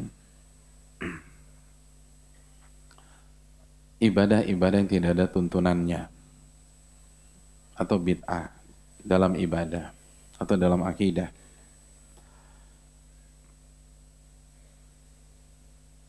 Kenapa demikian? Karena para ulama kita seperti Ibrahim An-Nakhai dan Ibnu Thauban beliau mereka menjelaskan bahwa makna musyahin juga berarti orang yang membuat ibadah yang baru yang meninggalkan sunnah Rasul Shallallahu Alaihi Wasallam. Itu di antara makna musyahin. Apa korelasinya? Karena lahirnya ibadah yang baru itu akan memunculkan perpecahan di tengah-tengah umat. Dan itulah makna dasar dari musyahid. Iya kan? Sim, apa contoh simpel-simpelan aja deh. Kita selama ini sholat subuh dua rakaat. Tiba-tiba ada sekelompok orang di komplek kita sholat subuh tiga rakaat Kira-kira timbul perpecahan nggak? Hah? Timbul perpecahan nggak? Timbul. Jadi setiap ibadah baru itu akan menimbulkan perpecahan.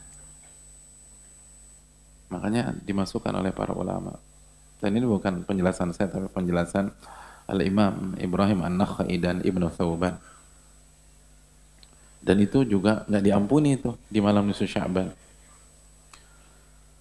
Jadi menarik ya jadi justru yang mendapatkan ampunan di malam nisfu Sya'ban adalah orang-orang yang komit dengan sunnah Nabi Shallallahu Alaihi Wasallam dan tidak melakukan ibadah yang tidak ada contohnya, ritual yang tidak ada keterangan dalilnya.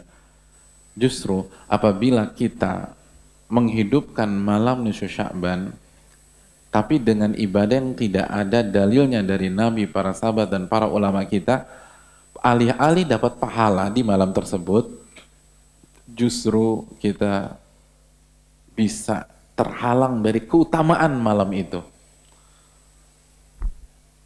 Makanya pastikan kita harus punya dalil. Pastikan kita harus punya dalil. Dan yang terakhir hadirin sekalian, jauhi perbuatan syirik. Baik syirik kecil apalagi syirik besar. Karena salah satu yang nggak diampuni di malam itu adalah illa li musyrik. Orang yang melakukan kesyirikan nggak diampuni. Dan itu sangat jelas. Karena Allah berfirman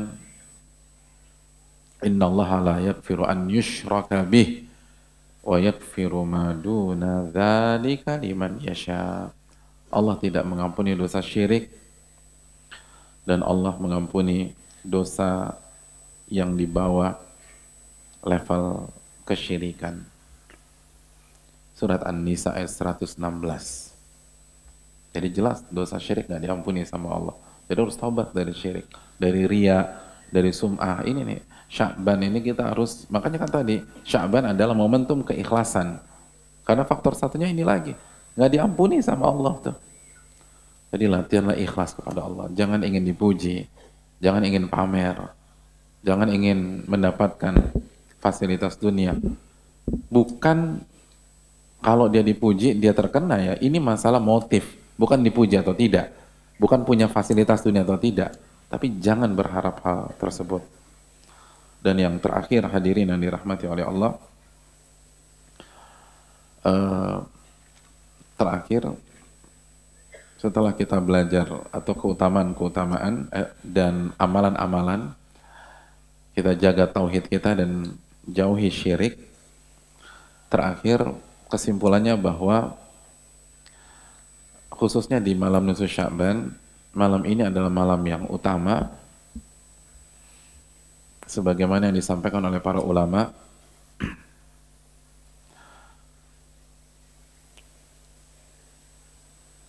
dan isilah dengan amal ibadah tapi tidak ada amal ibadah khusus di malam tersebut tidak ada sholat khusus di malam tersebut sebagaimana dikatakan Imam Nawawi dalam Majmu' Syarah Muhadzab tapi antum hidupkan tuh malam. Dan ini praktek para salaf atau sebagian para salaf. Seperti tabi'in di Syam. Mereka semangat ibadah di malam ini. Di antaranya siapa? Makhul, Al-Imam Makhul. Terus juga ini nasihatnya Umar bin Abdul Aziz. Dan ini juga arahannya Al-Imam Syafi'i rahimahullah rahimahullah taala tapi tidak ada ritual khusus Allah taala bisawa ini yang bisa disampaikan. Semoga bermanfaat dan kita bisa memaksimalkan uh, bulan Sya'ban yang sebentar lagi berada di hadapan kita. Dan uh, ada kemungkinan Sabtu depan kita libur. Eh, tapi kepastiannya akan diumumkan via sosmed, tapi ada kemungkinan libur. Uh, dan uh, sebelum kita buka sesi tanya jawab, mana apa sahabat-sahabat kecil kita siapa nih? Pertanyaannya, pertanyaannya, sebutkan dua bulan yang datang berturut-turut setelah bulan Rojab. Eh, nggak boleh dikasih tahu. Kamu, siapa namanya kamu? Eh? Rozak. Az Azan. Nama kamu Azan, adik kamu Ikomah. Nama kamu siapa? Eh? Azam. Ayo. Apa jawabannya Zam? Kamu kelas berapa sih? Kelas 4, oke. Okay. Apa jawabannya? Ah? Oke, okay. kita pending dulu ya. Uh, yang akhwat ada jawabannya?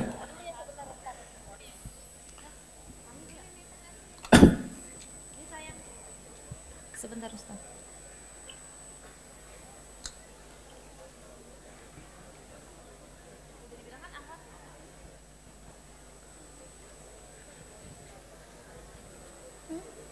Assalamualaikum. Waalaikumsalam. Nama kamu siapa? Vela. Sela. Sela kelas berapa? Lima. Berarti kakak kelasnya Azam. Apa jawabannya Sela? Syakban nama Ramadan. Ah, Iya, Masya Allah. Be- jawaban Azam dan Syala benar, Syakban dan Ramadan, jazakum, jazakumullah khairan, dan dapat hadiah dari eh, kita nanti pada kajian. Ya, kita masuk sesi tanya jawab. Alhamdulillah, wassalatu wassalamu ala rasulillah wa ba'd. Assalamualaikum warahmatullahi wabarakatuh. Waalaikumsalam warahmatullahi wabarakatuh. Ustadz, bagaimana tentang hadis yang menyatakan pada hari Senin dan Kamis amalan diangkat, sedangkan tadi dibahas bahwa amalan diangkat saat bulan Sya'ban. Mohon penjelasannya Ustadz Jazakallahu wa iyyakum. Tidak ada kontradiksi karena Senin dan Kamis itu itu per pekan. Adapun Sya'ban per tahun. Jadi tidak ada kontradiksi. Jadi ada pekanan, ada harian, ada pekanan, ada tahunan. Walau ta'ala bisawab. Assalamualaikum Ustaz, Waalaikumsalam. Semoga Ustaz dan keluarga selalu dilindungi oleh Allah. Amin ya Rabbal Alamin. Ustaz, saya mau tanya, apakah boleh isbal ketika di dalam rumah, namun ketika keluar dinaikkan cingkrang? Mohon jawabannya Ustaz, jazakallah khairan. Ustaz, terima kasih, jazakallah khairan. Eh, saya hanya lihat dari satu dari sisi pertanyaannya saja ya. Saya nggak membahas masalah ini secara komprehensif karena ada waktunya. Tapi intinya di mana pun hukumnya sama, di mana pun hukumnya sama. Karena hadisnya umum atau mutlak. Jadi eh, tidak membedakan spot atau tempat. Wallahu taala bisawab.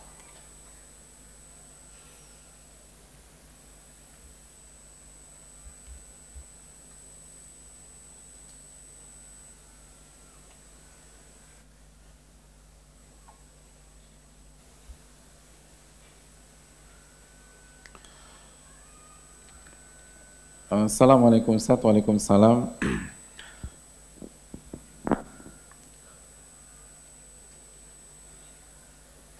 Eh, mana sih?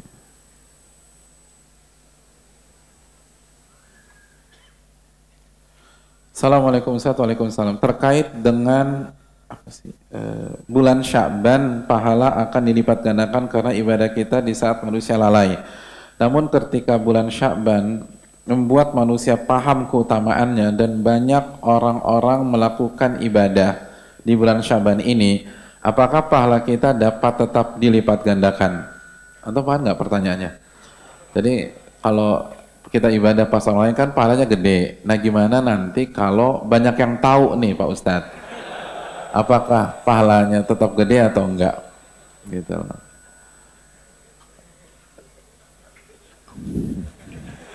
Jadi gimana kalau kita rahasiakan aja? Jangan bilang siapa-siapa ya. Ini antara antum dan ana gitu ya. Hadirin yang dirahmati oleh Allah. Loh, makanya kita tuh kalau membahas sebuah masalah, kita harus lihat secara komprehensif dari semua sisi. Jangan seperti pakai kacamata kuda. Mungkin dari satu sisi kita nggak dapat eh, apa orang-orang udah ngerti semua dan di situ memang eh, apa eh, di situ dilipat gandakannya nggak seperti sebelumnya. Tapi dari sisi lain, ketika orang-orang itu tahu dari antum, antum dapat pahala apa tidak? Dapat pahala. Makanya kan hadis muslimnya apa? Falahu ajruha wa ajru man amila biha. Kita Anda dapat eh, dia dapat pahalanya dan orang yang memfollow dia, yang ngikutin dia, yang terinspirasi dengan dia. Itu yang pertama. Yang kedua kita dapat pahala perintis. Oh perintis itu luar biasa. Kenapa sehebat hebat antum ibadah nggak akan bisa mengalahkan para sahabat karena sahabat perintis. Makanya kan ketika Allah sebutkan para sahabat dalam surat At-Taubah ayat 100 Allah bilang sahabat tidak. Allah bilang Allah berfirman apa? wasabiqun al-awwalun dan orang-orang pertama kali masuk ke dalam Islam, para perintis. Itu perintis tuh pahalanya gede banget. Gedenya luar biasa. Jadi antum sebarkan, jadi sembunyikan. Ya, disebarkan. Jadi jangan ada yang kasih masukan, uh, saya mau kasih saran sama Pak Ustadz, kalau bisa kajian malam ini jangan diupload, jangan gitu. Itu kurang tepat kita sebarkan aja.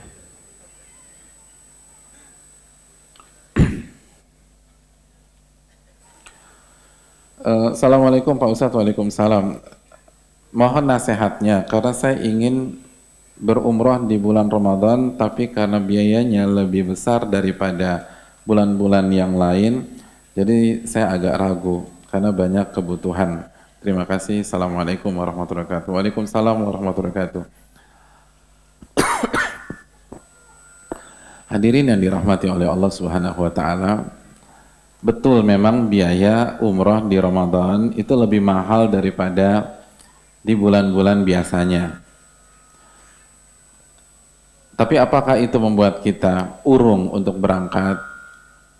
Jawabannya, kita semua udah ngerti sebuah kaidah di lingkungan dan lapangan kita. Ada harga, ada barang hadirin. Atau kita sering dengar kayak istilah harga tuh nggak bohong gitu loh. Harga nggak bohong.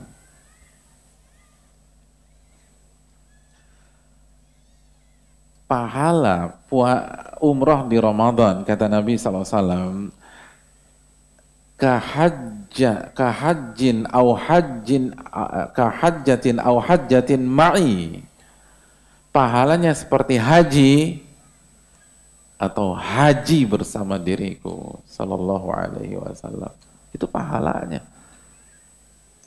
Ya masa gratisan haji sama Nabi sallallahu alaihi wasallam? Ya bayar dong. Ini haji sama Nabi sallallahu alaihi wasallam pahalanya tuh. Makanya kan ketika ada seorang wanita yang tidak bisa berhaji dengan Rasul sallallahu alaihi wasallam karena ada uzur Nabi sarankan umrah di bulan Ramadan. Itu pahalanya sama. Jadi rugi kalau kita nggak umroh di bulan Ramadan, padahal kita punya kesempatan. Padahal kita punya uang. Tapi mungkin uangnya habis beli mobil lah, habis beli motor lah, gitu lah. Daripada antum beli mobil, kan nggak ada. Mobil sekeren apa pun nggak ada hadis Barang siapa yang beli mobil ini itu seperti naik ontak sama aku. Nggak ada. Nggak ada. Jadi, tapi umrah Ramadan, haji bersama Nabi itu sallallahu alaihi. Haji bersama Nabi. Dan semua hal yang bernilai itu nggak murah. Dan diganti sama Allah Subhanahu wa taala. Tabi'u bainal haji wal umrah, selang-selinglah antara haji dan umrah. Fa innahuma yanfiyanil faqra wadh-dhunub. Karena dua ibadah ini, haji dan umrah, itu menghilangkan kemiskinan dan dosa. Jadi fungsinya menghilangkan kemiskinan. Makanya suka heran kita kalau ada orang yang nggak haji atau nggak umroh, alasannya kerjaan nggak bisa ditinggal lah, harus uh, ngawal perusahaan lah, boleh. Tapi kok nggak ada waktu? Anda kerja tuh buat apa? Nyari rizki kan? Biar nggak miskin kan? Nah ini menghilangkan kemiskinan kata Nabi SAW. Jadi diganti tuh. Diganti. Kan simpel aja ada yang nawarin antum Kijang LGX. Antum masih ingat nggak Kijang LGX? Harganya 300 juta. Antum beli nggak? Mahal. Tapi kalau dia bilang, nih tiga, antum beli tuh LGX 300 juta, nanti saya ganti 400 juta. Antum beli 300 juta? Beli. Walaupun dibodoh-bodohin orang, antum kan beli oh bodoh banget masa kijang segitu 300 juta? Ya mau diganti nih gantinya 400 juta. Udah kita beli aja deh. Kan diganti. Klien hanya kalau nggak diganti. Jadi udah haji bersama Rasul diganti lagi. Ya modalan tuh apa? Udah Bismillah deh udah gitu loh. Dan usahakan umrohnya yang benar sesuai dengan sunnah Nabi SAW dan antum bebas ke antum cocok sama Ustadz A atau Ustadz B atau Ustadz C antum umroh biar dibimbing yang benar. Jadi itu penting diganti sama Allah. Dan antum kan bisa minta tuh nanti gitu. Di pas di sofa marwah minta tuh. Nggak ada teman minta motor, dikasih motor pas pulang tuh, masya Allah. Dikasih motor, minta motor. Nanti minta banyak, jangan motor aja. Gitu, minta sorga, minta rizki, minta anak yang soleh, gitu hadirin. Allah taala misalnya. Assalamualaikum warahmatullahi Semoga Allah Azza wa Jal selalu memberikan Ustadz kesehatan dan keselamatan. Amin. Begitu juga dengan antum semua dan yang bertanya. Saya mohon doanya Ustadz untuk ibunda saya yang baru meninggal pada 10 April. Semoga Allah ampuni beliau. Sekarang berapa April? 14 ya, 10 April ya. Yang ingin saya uh, tanyakan apakah amalan-amalan kebaikan yang saya lakukan pahalanya juga mengalir kepada Ibnu Empat hari yang lalu berarti baru meninggal ya. Ya, yang bertanya mohon uh, ketemu kami pada kajian nanti. Terus adapun uh, doa kita doakan ibunda beliau, kita minta kepada Allah dengan nama-nama yang husna dan sifat-sifat yang ula agar Allah memberikan ibunda beliau husnul khatimah dan dikokohkan di kuburnya dan diampuni dosa-dosanya dan diberikan nikmat-nikmat kuburnya. Amin ya rabbal alamin. Apakah amalan-amalan kebaikan yang saya lakukan pahalanya juga mengalir kepada ibunda saya? Jawabannya iya insya Allah karena Nabi SAW bersabda al waladu min kasbil walid atau kamakal anak itu hasil usaha orang tua. Wa alaisa insani illa masa'a kata Allah. Dan seseorang nggak akan mendapatkan kecuali hasil usahanya. Dan anak hasil usaha orang tua. Maka begitu anak beribadah itu langsung masuk ke rekening pahala orang tuanya langsung. Makanya ibadah anak itu seperti orang tua yang beribadah sebagaimana sabda Nabi SAW hadis terkenal sekali hadis Bukhari idza mata bunu adam in amalu jika mati jika meninggal anak Adam terputuslah tiga tiga apa? Tiga amalan. Yang pertama apa? Ah, yang lo masa tuh kalah sama anak kecil gimana sih?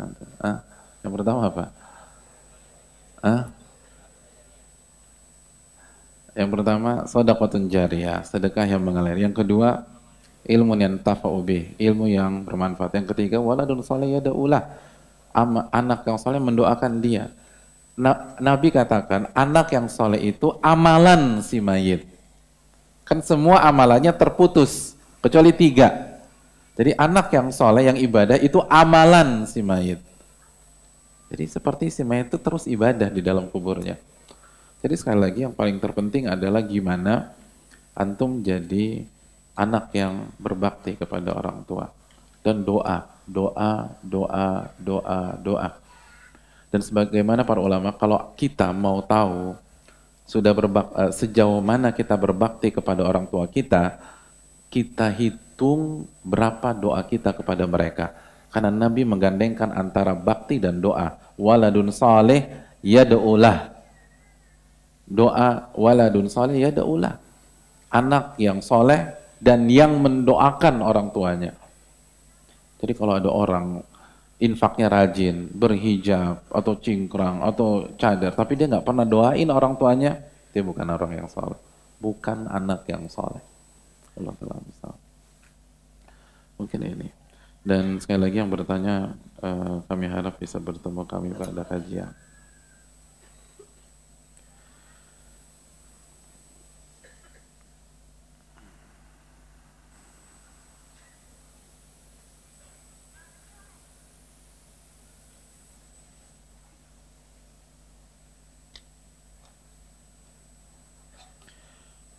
Mohon sangat dijawab Ustaz. Ya, permohonan diterima. Assalamualaikum Ustaz. Waalaikumsalam warahmatullahi Saya sedang di ujung kerisauan. beberapa bulan lalu saya keluar dari instansi haram. Persoalannya ibu saya sangat kecewa karena ekonomi saya terjun bebas. Saya sudah coba buka usaha kuliner tapi gagal terus. Mohon nasihatnya jazakallah khairan. Apakah dosa kalau saya kerja di tempat yang sama seperti sebelumnya karena nurut ibu saya? Jadi untuk taat kepada orang tua. Terus kondisi sekarang saya nggak punya uang sama sekali.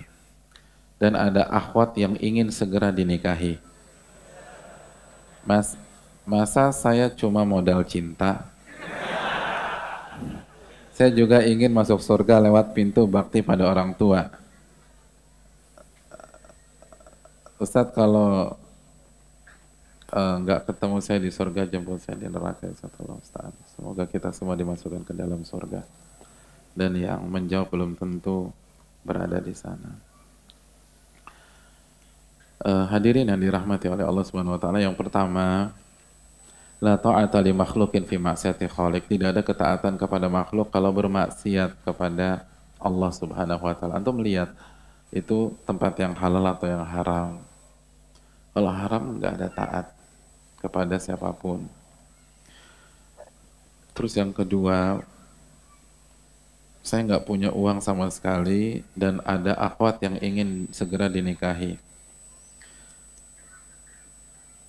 Akhwat ini ingin segera dinikahi. Kan nggak harus sama antum. Bisa sama itu ya. Gitu ya.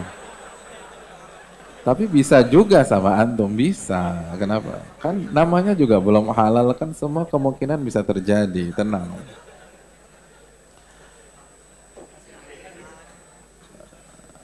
Uh, gini hadirin yang dirahmati oleh Allah. Kembali ke kembali ke hadis Tirmidzi, "Lau kuntum tawakkaluna 'ala Allah haqqa tawakkuli la razaqakum kama yarzuqu at-tayr tagdu khimasan wa taruhu bitana. Kalau kalian bertawakal kepada Allah dengan sebenar-benarnya ketawakalan, maka Allah akan kasih kalian rizki sebagaimana Allah kasih rizki kepada seekor burung. Burung keluar dari sarangnya dengan di pagi hari dengan perut lapar dan pulang di sore hari dengan perut kenyang. Dan dia bisa kasih rizki buat keluarganya. Jadi uh, ini masalah ketakwaan. Ini masalah ketawakalan. Coba evaluasi diri deh. Sudah bertakwakah kita kepada Allah dan sudah bertawakallah kita, apakah kita kepada Allah Subhanahu wa taala? Audit dulu, evaluasi. Jangan berbicara kembali ke uh, perusahaan yang lama. Ini bukan masalah balik atau enggak.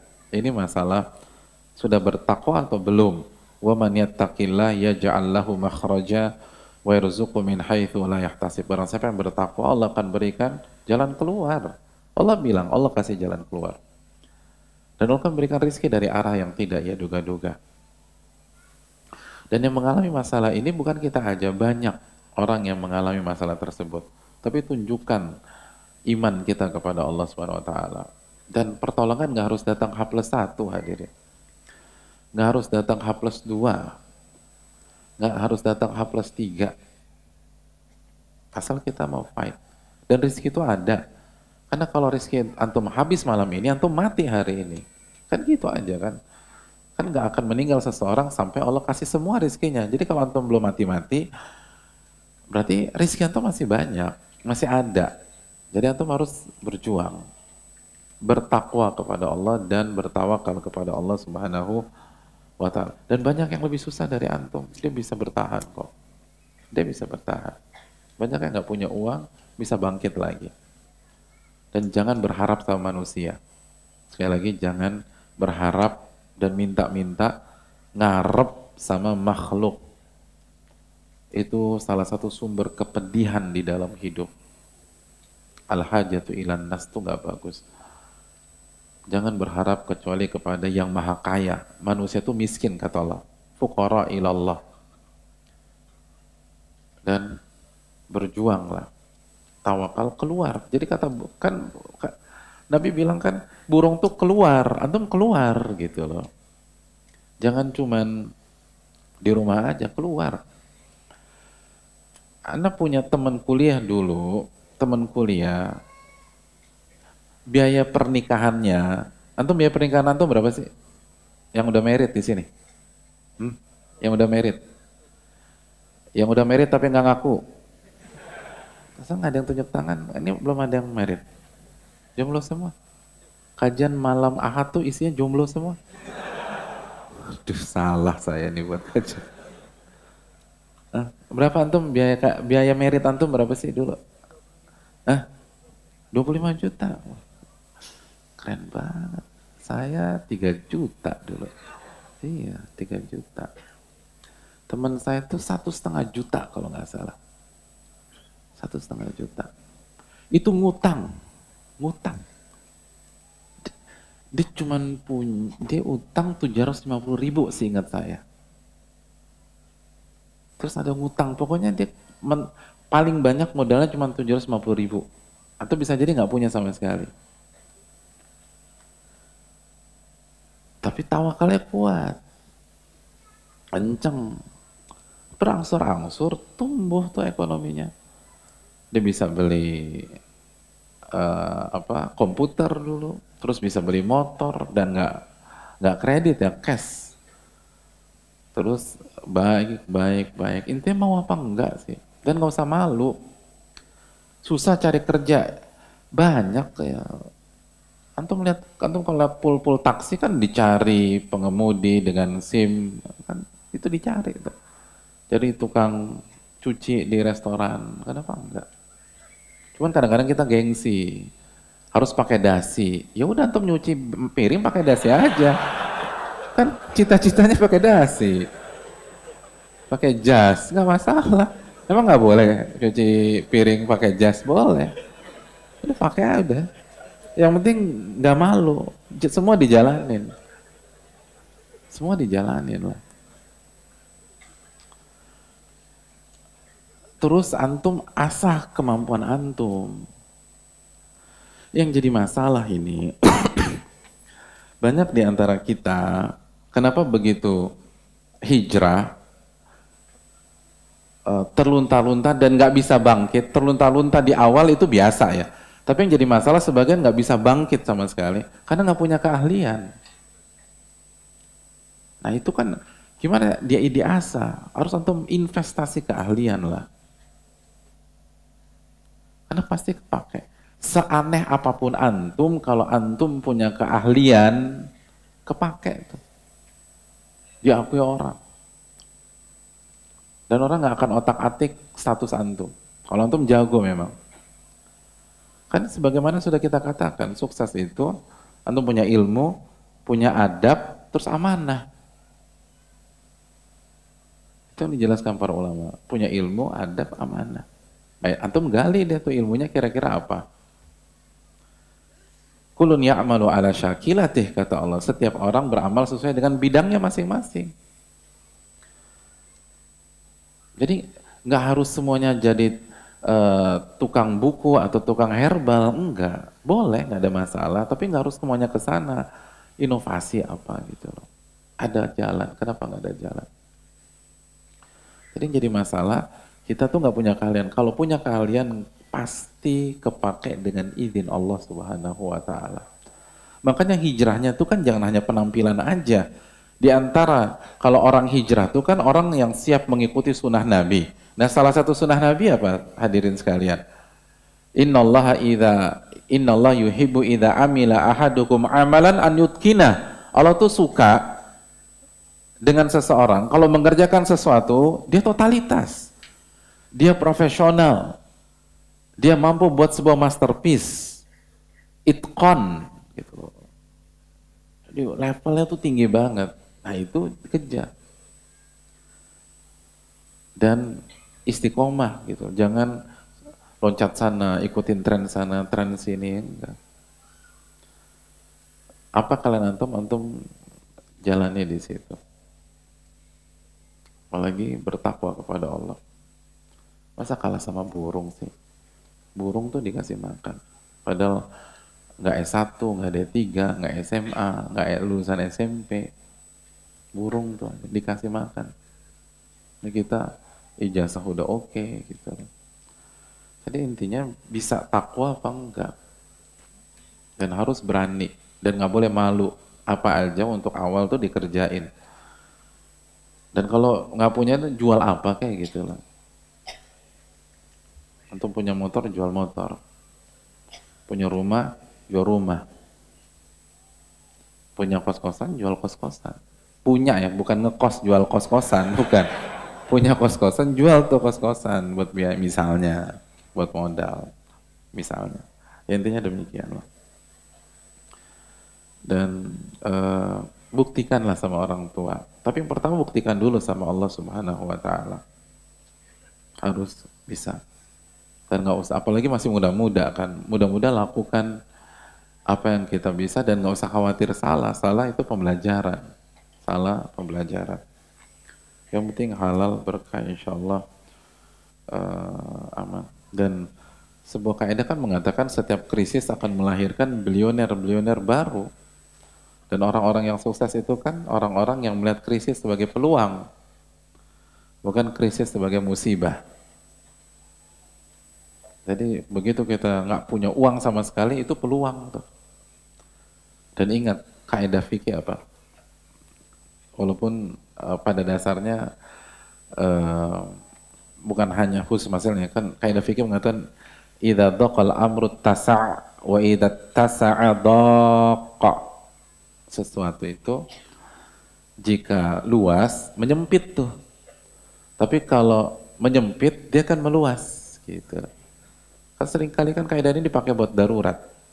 Kalau kondisinya normal, luas, akhirnya ini nggak boleh, ini nggak boleh, ini nggak boleh. Tapi ketika kondisi darurat dan sempit, semuanya boleh. Gitu. Hadirin biasanya kita nggak akan mengeluarkan seluruh potensi kita kecuali benar-benar dalam kondisi jatuh sejatuh-jatuhnya. Asal tawakalnya kuat. Antum kalau disuruh loncatin hijab itu bisa nggak? Hijab putih itu. Bisa?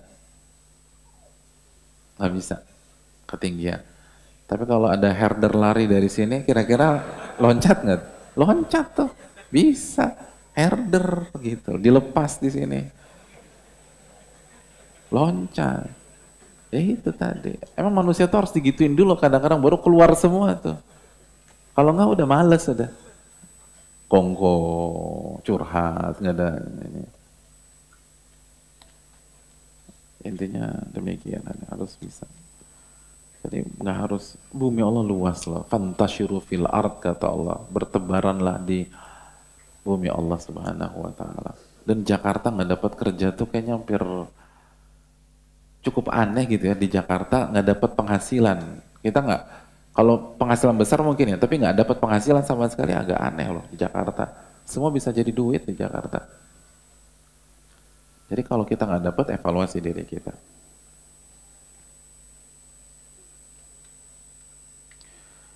Assalamualaikum Assalamualaikum Semoga Ustadz dan kita semua yang hadir di majelis ini diberkahi oleh Allah.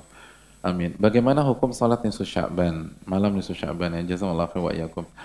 Uh, lebih lebih enak, lebih bijak, lebih objektif kita nukilkan aja penjelasan Imam Nawawi dalam kitabnya Al-Majmu'. Beliau mengatakan tidak ada tuntunannya dari Nabi Shallallahu Alaihi Wasallam. Dan ini bukan kata saya tapi kata Al Imam An Nawawi. Bahkan beliau menjelaskan dengan bahasa yang cukup tegas dan tajam. Makanya tadi katakan tidak ada ibadah-ibadah khusus. Silakan ibadah apa aja, doa kayak zikir, baca Quran, atau qiyamul lail gitu loh, bebas.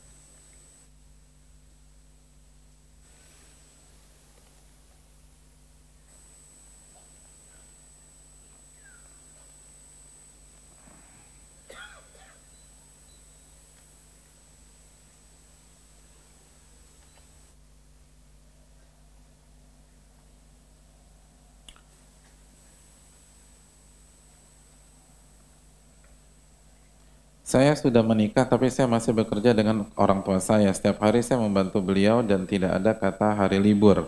Saya bingung mengatur waktu untuk mencari ilmu dengan istri saya. Saya ingin meninggalkan mereka tetapi ibu saya tidak mengizinkan saya. Tidak mengizinkan saya minta solusinya Ustadz untuk masalah saya. Iya, uh, saya membantu beliau dan tidak ada kata hari libur. Ya, ya Alhamdulillah pertama kajian kita di hari Sabtu bukan hari libur. Itu yang pertama. Jadi insya Allah masih bisa. Ini kan yang masalah nggak ada hari libur. Hari Sabtu pasti ada. Yang kedua, semua yang berlebihan tuh nggak bagus. Semua yang berlebihan tuh nggak bagus. Sholat berlebihan nggak bagus. Antum sholat duhur 6 rakaat nggak bagus tuh. Jadi semuanya nggak bagus. Nabi katakan sa'atan sa'ah ada waktunya, ada waktunya sama orang tua, ada waktunya sama istri, ada waktunya ngaji. Jadi sekali lagi kita harus atur. Dan kalau ibu kita tidak mengizinkan kita kaji eh, belajar yang konsekuensinya kita nggak ngerti yang wajib, maka la ta'ata li makhlukin fi ma'siyati khaliq. Tidak tidak ada ketaatan kepada makhluk uh, jika bermaksiat kepada Allah dan mengetahui kewajiban-kewajiban kita hukumnya wajib. Talabul ilmi faridatun ala kulli muslim. Menuntut ilmu agama hukumnya wajib. Tapi antum coba dulu di awal-awal misalnya secara on air atau via YouTube atau sosial media atau radio. Tapi kalau antum merasa kayaknya beda Ustadz, iman saya tetap turun aja nih kalau dengar itu. Maka eh, coba minta izin lagi dan baik-baikin orang tua antum. Wallahu taala misawab. Saya rasa cukup ya, sudah jam 9, eh panjang juga nih. Assalamualaikum Pak Ustadz, Waalaikumsalam. Apa, apa kalau seandainya pada saat bulan Sya'ban kita melakukan ibadah puasa sunnah, terus kita ditawari makan sama teman yang tidak berpuasa. Kita harus gimana Pak? Padahal kita mau sembunyikan amalan ibadah kita. Terus Pak, kalau puasa di bulan Sya'ban, bagusnya dilakukan berapa hari? Ya, nak. Terima kasih jazakallahu khairan. Um, yang pertama bebas. Mayoritas bagus. Nabi nggak menyebutkan 22, 23, 24, 26 hari. Nabi hanya hadis Aisyah itu mengatakan illa qalila. Nabi berpuasa di bulan Syaban kecuali beberapa hari sedikit aja yang beliau lepas mungkin dua hari, mungkin tiga hari, mungkin empat hari, sesuai dengan kemampuan kita. Terus yang kedua, kalau kita lagi puasa, terus ditawarin makan, ini harus diperinci juga nih hadirin. Kalau ditawarin nggak dikasih ya nggak usah dibatalin. Eh makan makan makan kan tawarin suka gitu ya. eh makan bro makan makan. Tapi ya beli sendiri, ya jadi batalin. Orang beli sendiri dibatal. Yang dibatalkan kalau antum diundang gitu loh, disuguhkan. Diundang walima. Walima itu undangan makan ya. Bisa walimatul urus atau walimah pernikahan atau walimah-walimah yang lain. Nah, itu pembahasannya. Jadi kalau kalau cuma ditawarin doang, mari Pak, makan Pak, mari gitu loh. Ini enak beli di mana? Di bawah gitu kan. Ya artinya antum beli sendiri jadi batal ya. Uh, di, dikembalikan kepada kalau ini walimah antum diminta makan dan seterusnya kan Nabi mengatakan faman syaa fal fal yuftir wa man syaa fal fal yusalli au kama barang siapa yang mau dia boleh batalkan terus makan dan barang siapa yang memilih untuk tetap berpuasa dia doain tuh yang kasih makan. Jadi opsi di tengah-tengah antum. Antum boleh makan boleh enggak. Tapi ada uh, saya lupa siapa uh, salah satu ulama salaf tapi tidak hadir di ingatan saya pada malam hari ini. Uh, beberapa waktu yang lalu saya baca uh, beliau itu itu kalau ditawarin makan pas puasa dan kalau udah ditawarin udah sungguh-sungguh ya beliau akan buka dan beliau nggak pernah sampaikan bahwa beliau sedang puasa. Jadi nggak ada yang tahu tuh bahwa beliau puasa. Karena kalau ditawarin eh ditawarin lagi diundang gitu ya, diundang terus di di apa didatang ke walimah dan dipaksa makan, akhirnya beliau batalkan. Karena memang uh, beliau lebih memilih membatalkan tapi tetap menjaga kerahasiaan ibadah puasanya dibanding mempertahankan Tapi ketahuan semuanya dia sedang puasa. Itu menarik. Ada salah satu maklumat yang uh, buat saya tertegun juga beberapa waktu yang lalu. Walaupun ini tidak bicara halal haram ya, dua-duanya boleh. Kan Nabi katakan, yang mau tetap puasa-puasa, tapi doain, yang mau buka-buka. Tapi lebih bagus disembunyikan, kan keren banget antum puasa seumur hidup, nggak ada yang tahu kecuali antum dengan Allah, itu kan keren banget. Atau paling nggak istri antum yang yang buatin sahur kan istri gitu loh. Atau orang rumah, orang luar nggak ada yang tahu. Pikirnya antum biasa aja sama mereka, itu bagus tuh. Dan kalau antum batalkan kan antum juga dapat pahalanya, nggak rugi. Antum tetap dapat pahalanya karena antum batalkan karena udur syar'i, diundang atau walimah. Wallahu taala misal. Gitu ya, Nak ya. Terima kasih banyak.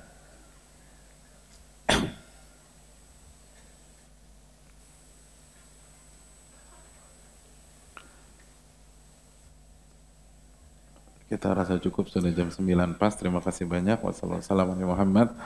Mohon maaf nggak semua pertanyaan bisa dijawab karena keterbatasan ilmu saya dan keterbatasan waktu dan mungkin bisa ditanya ke ustadz-ustadz yang lebih berilmu.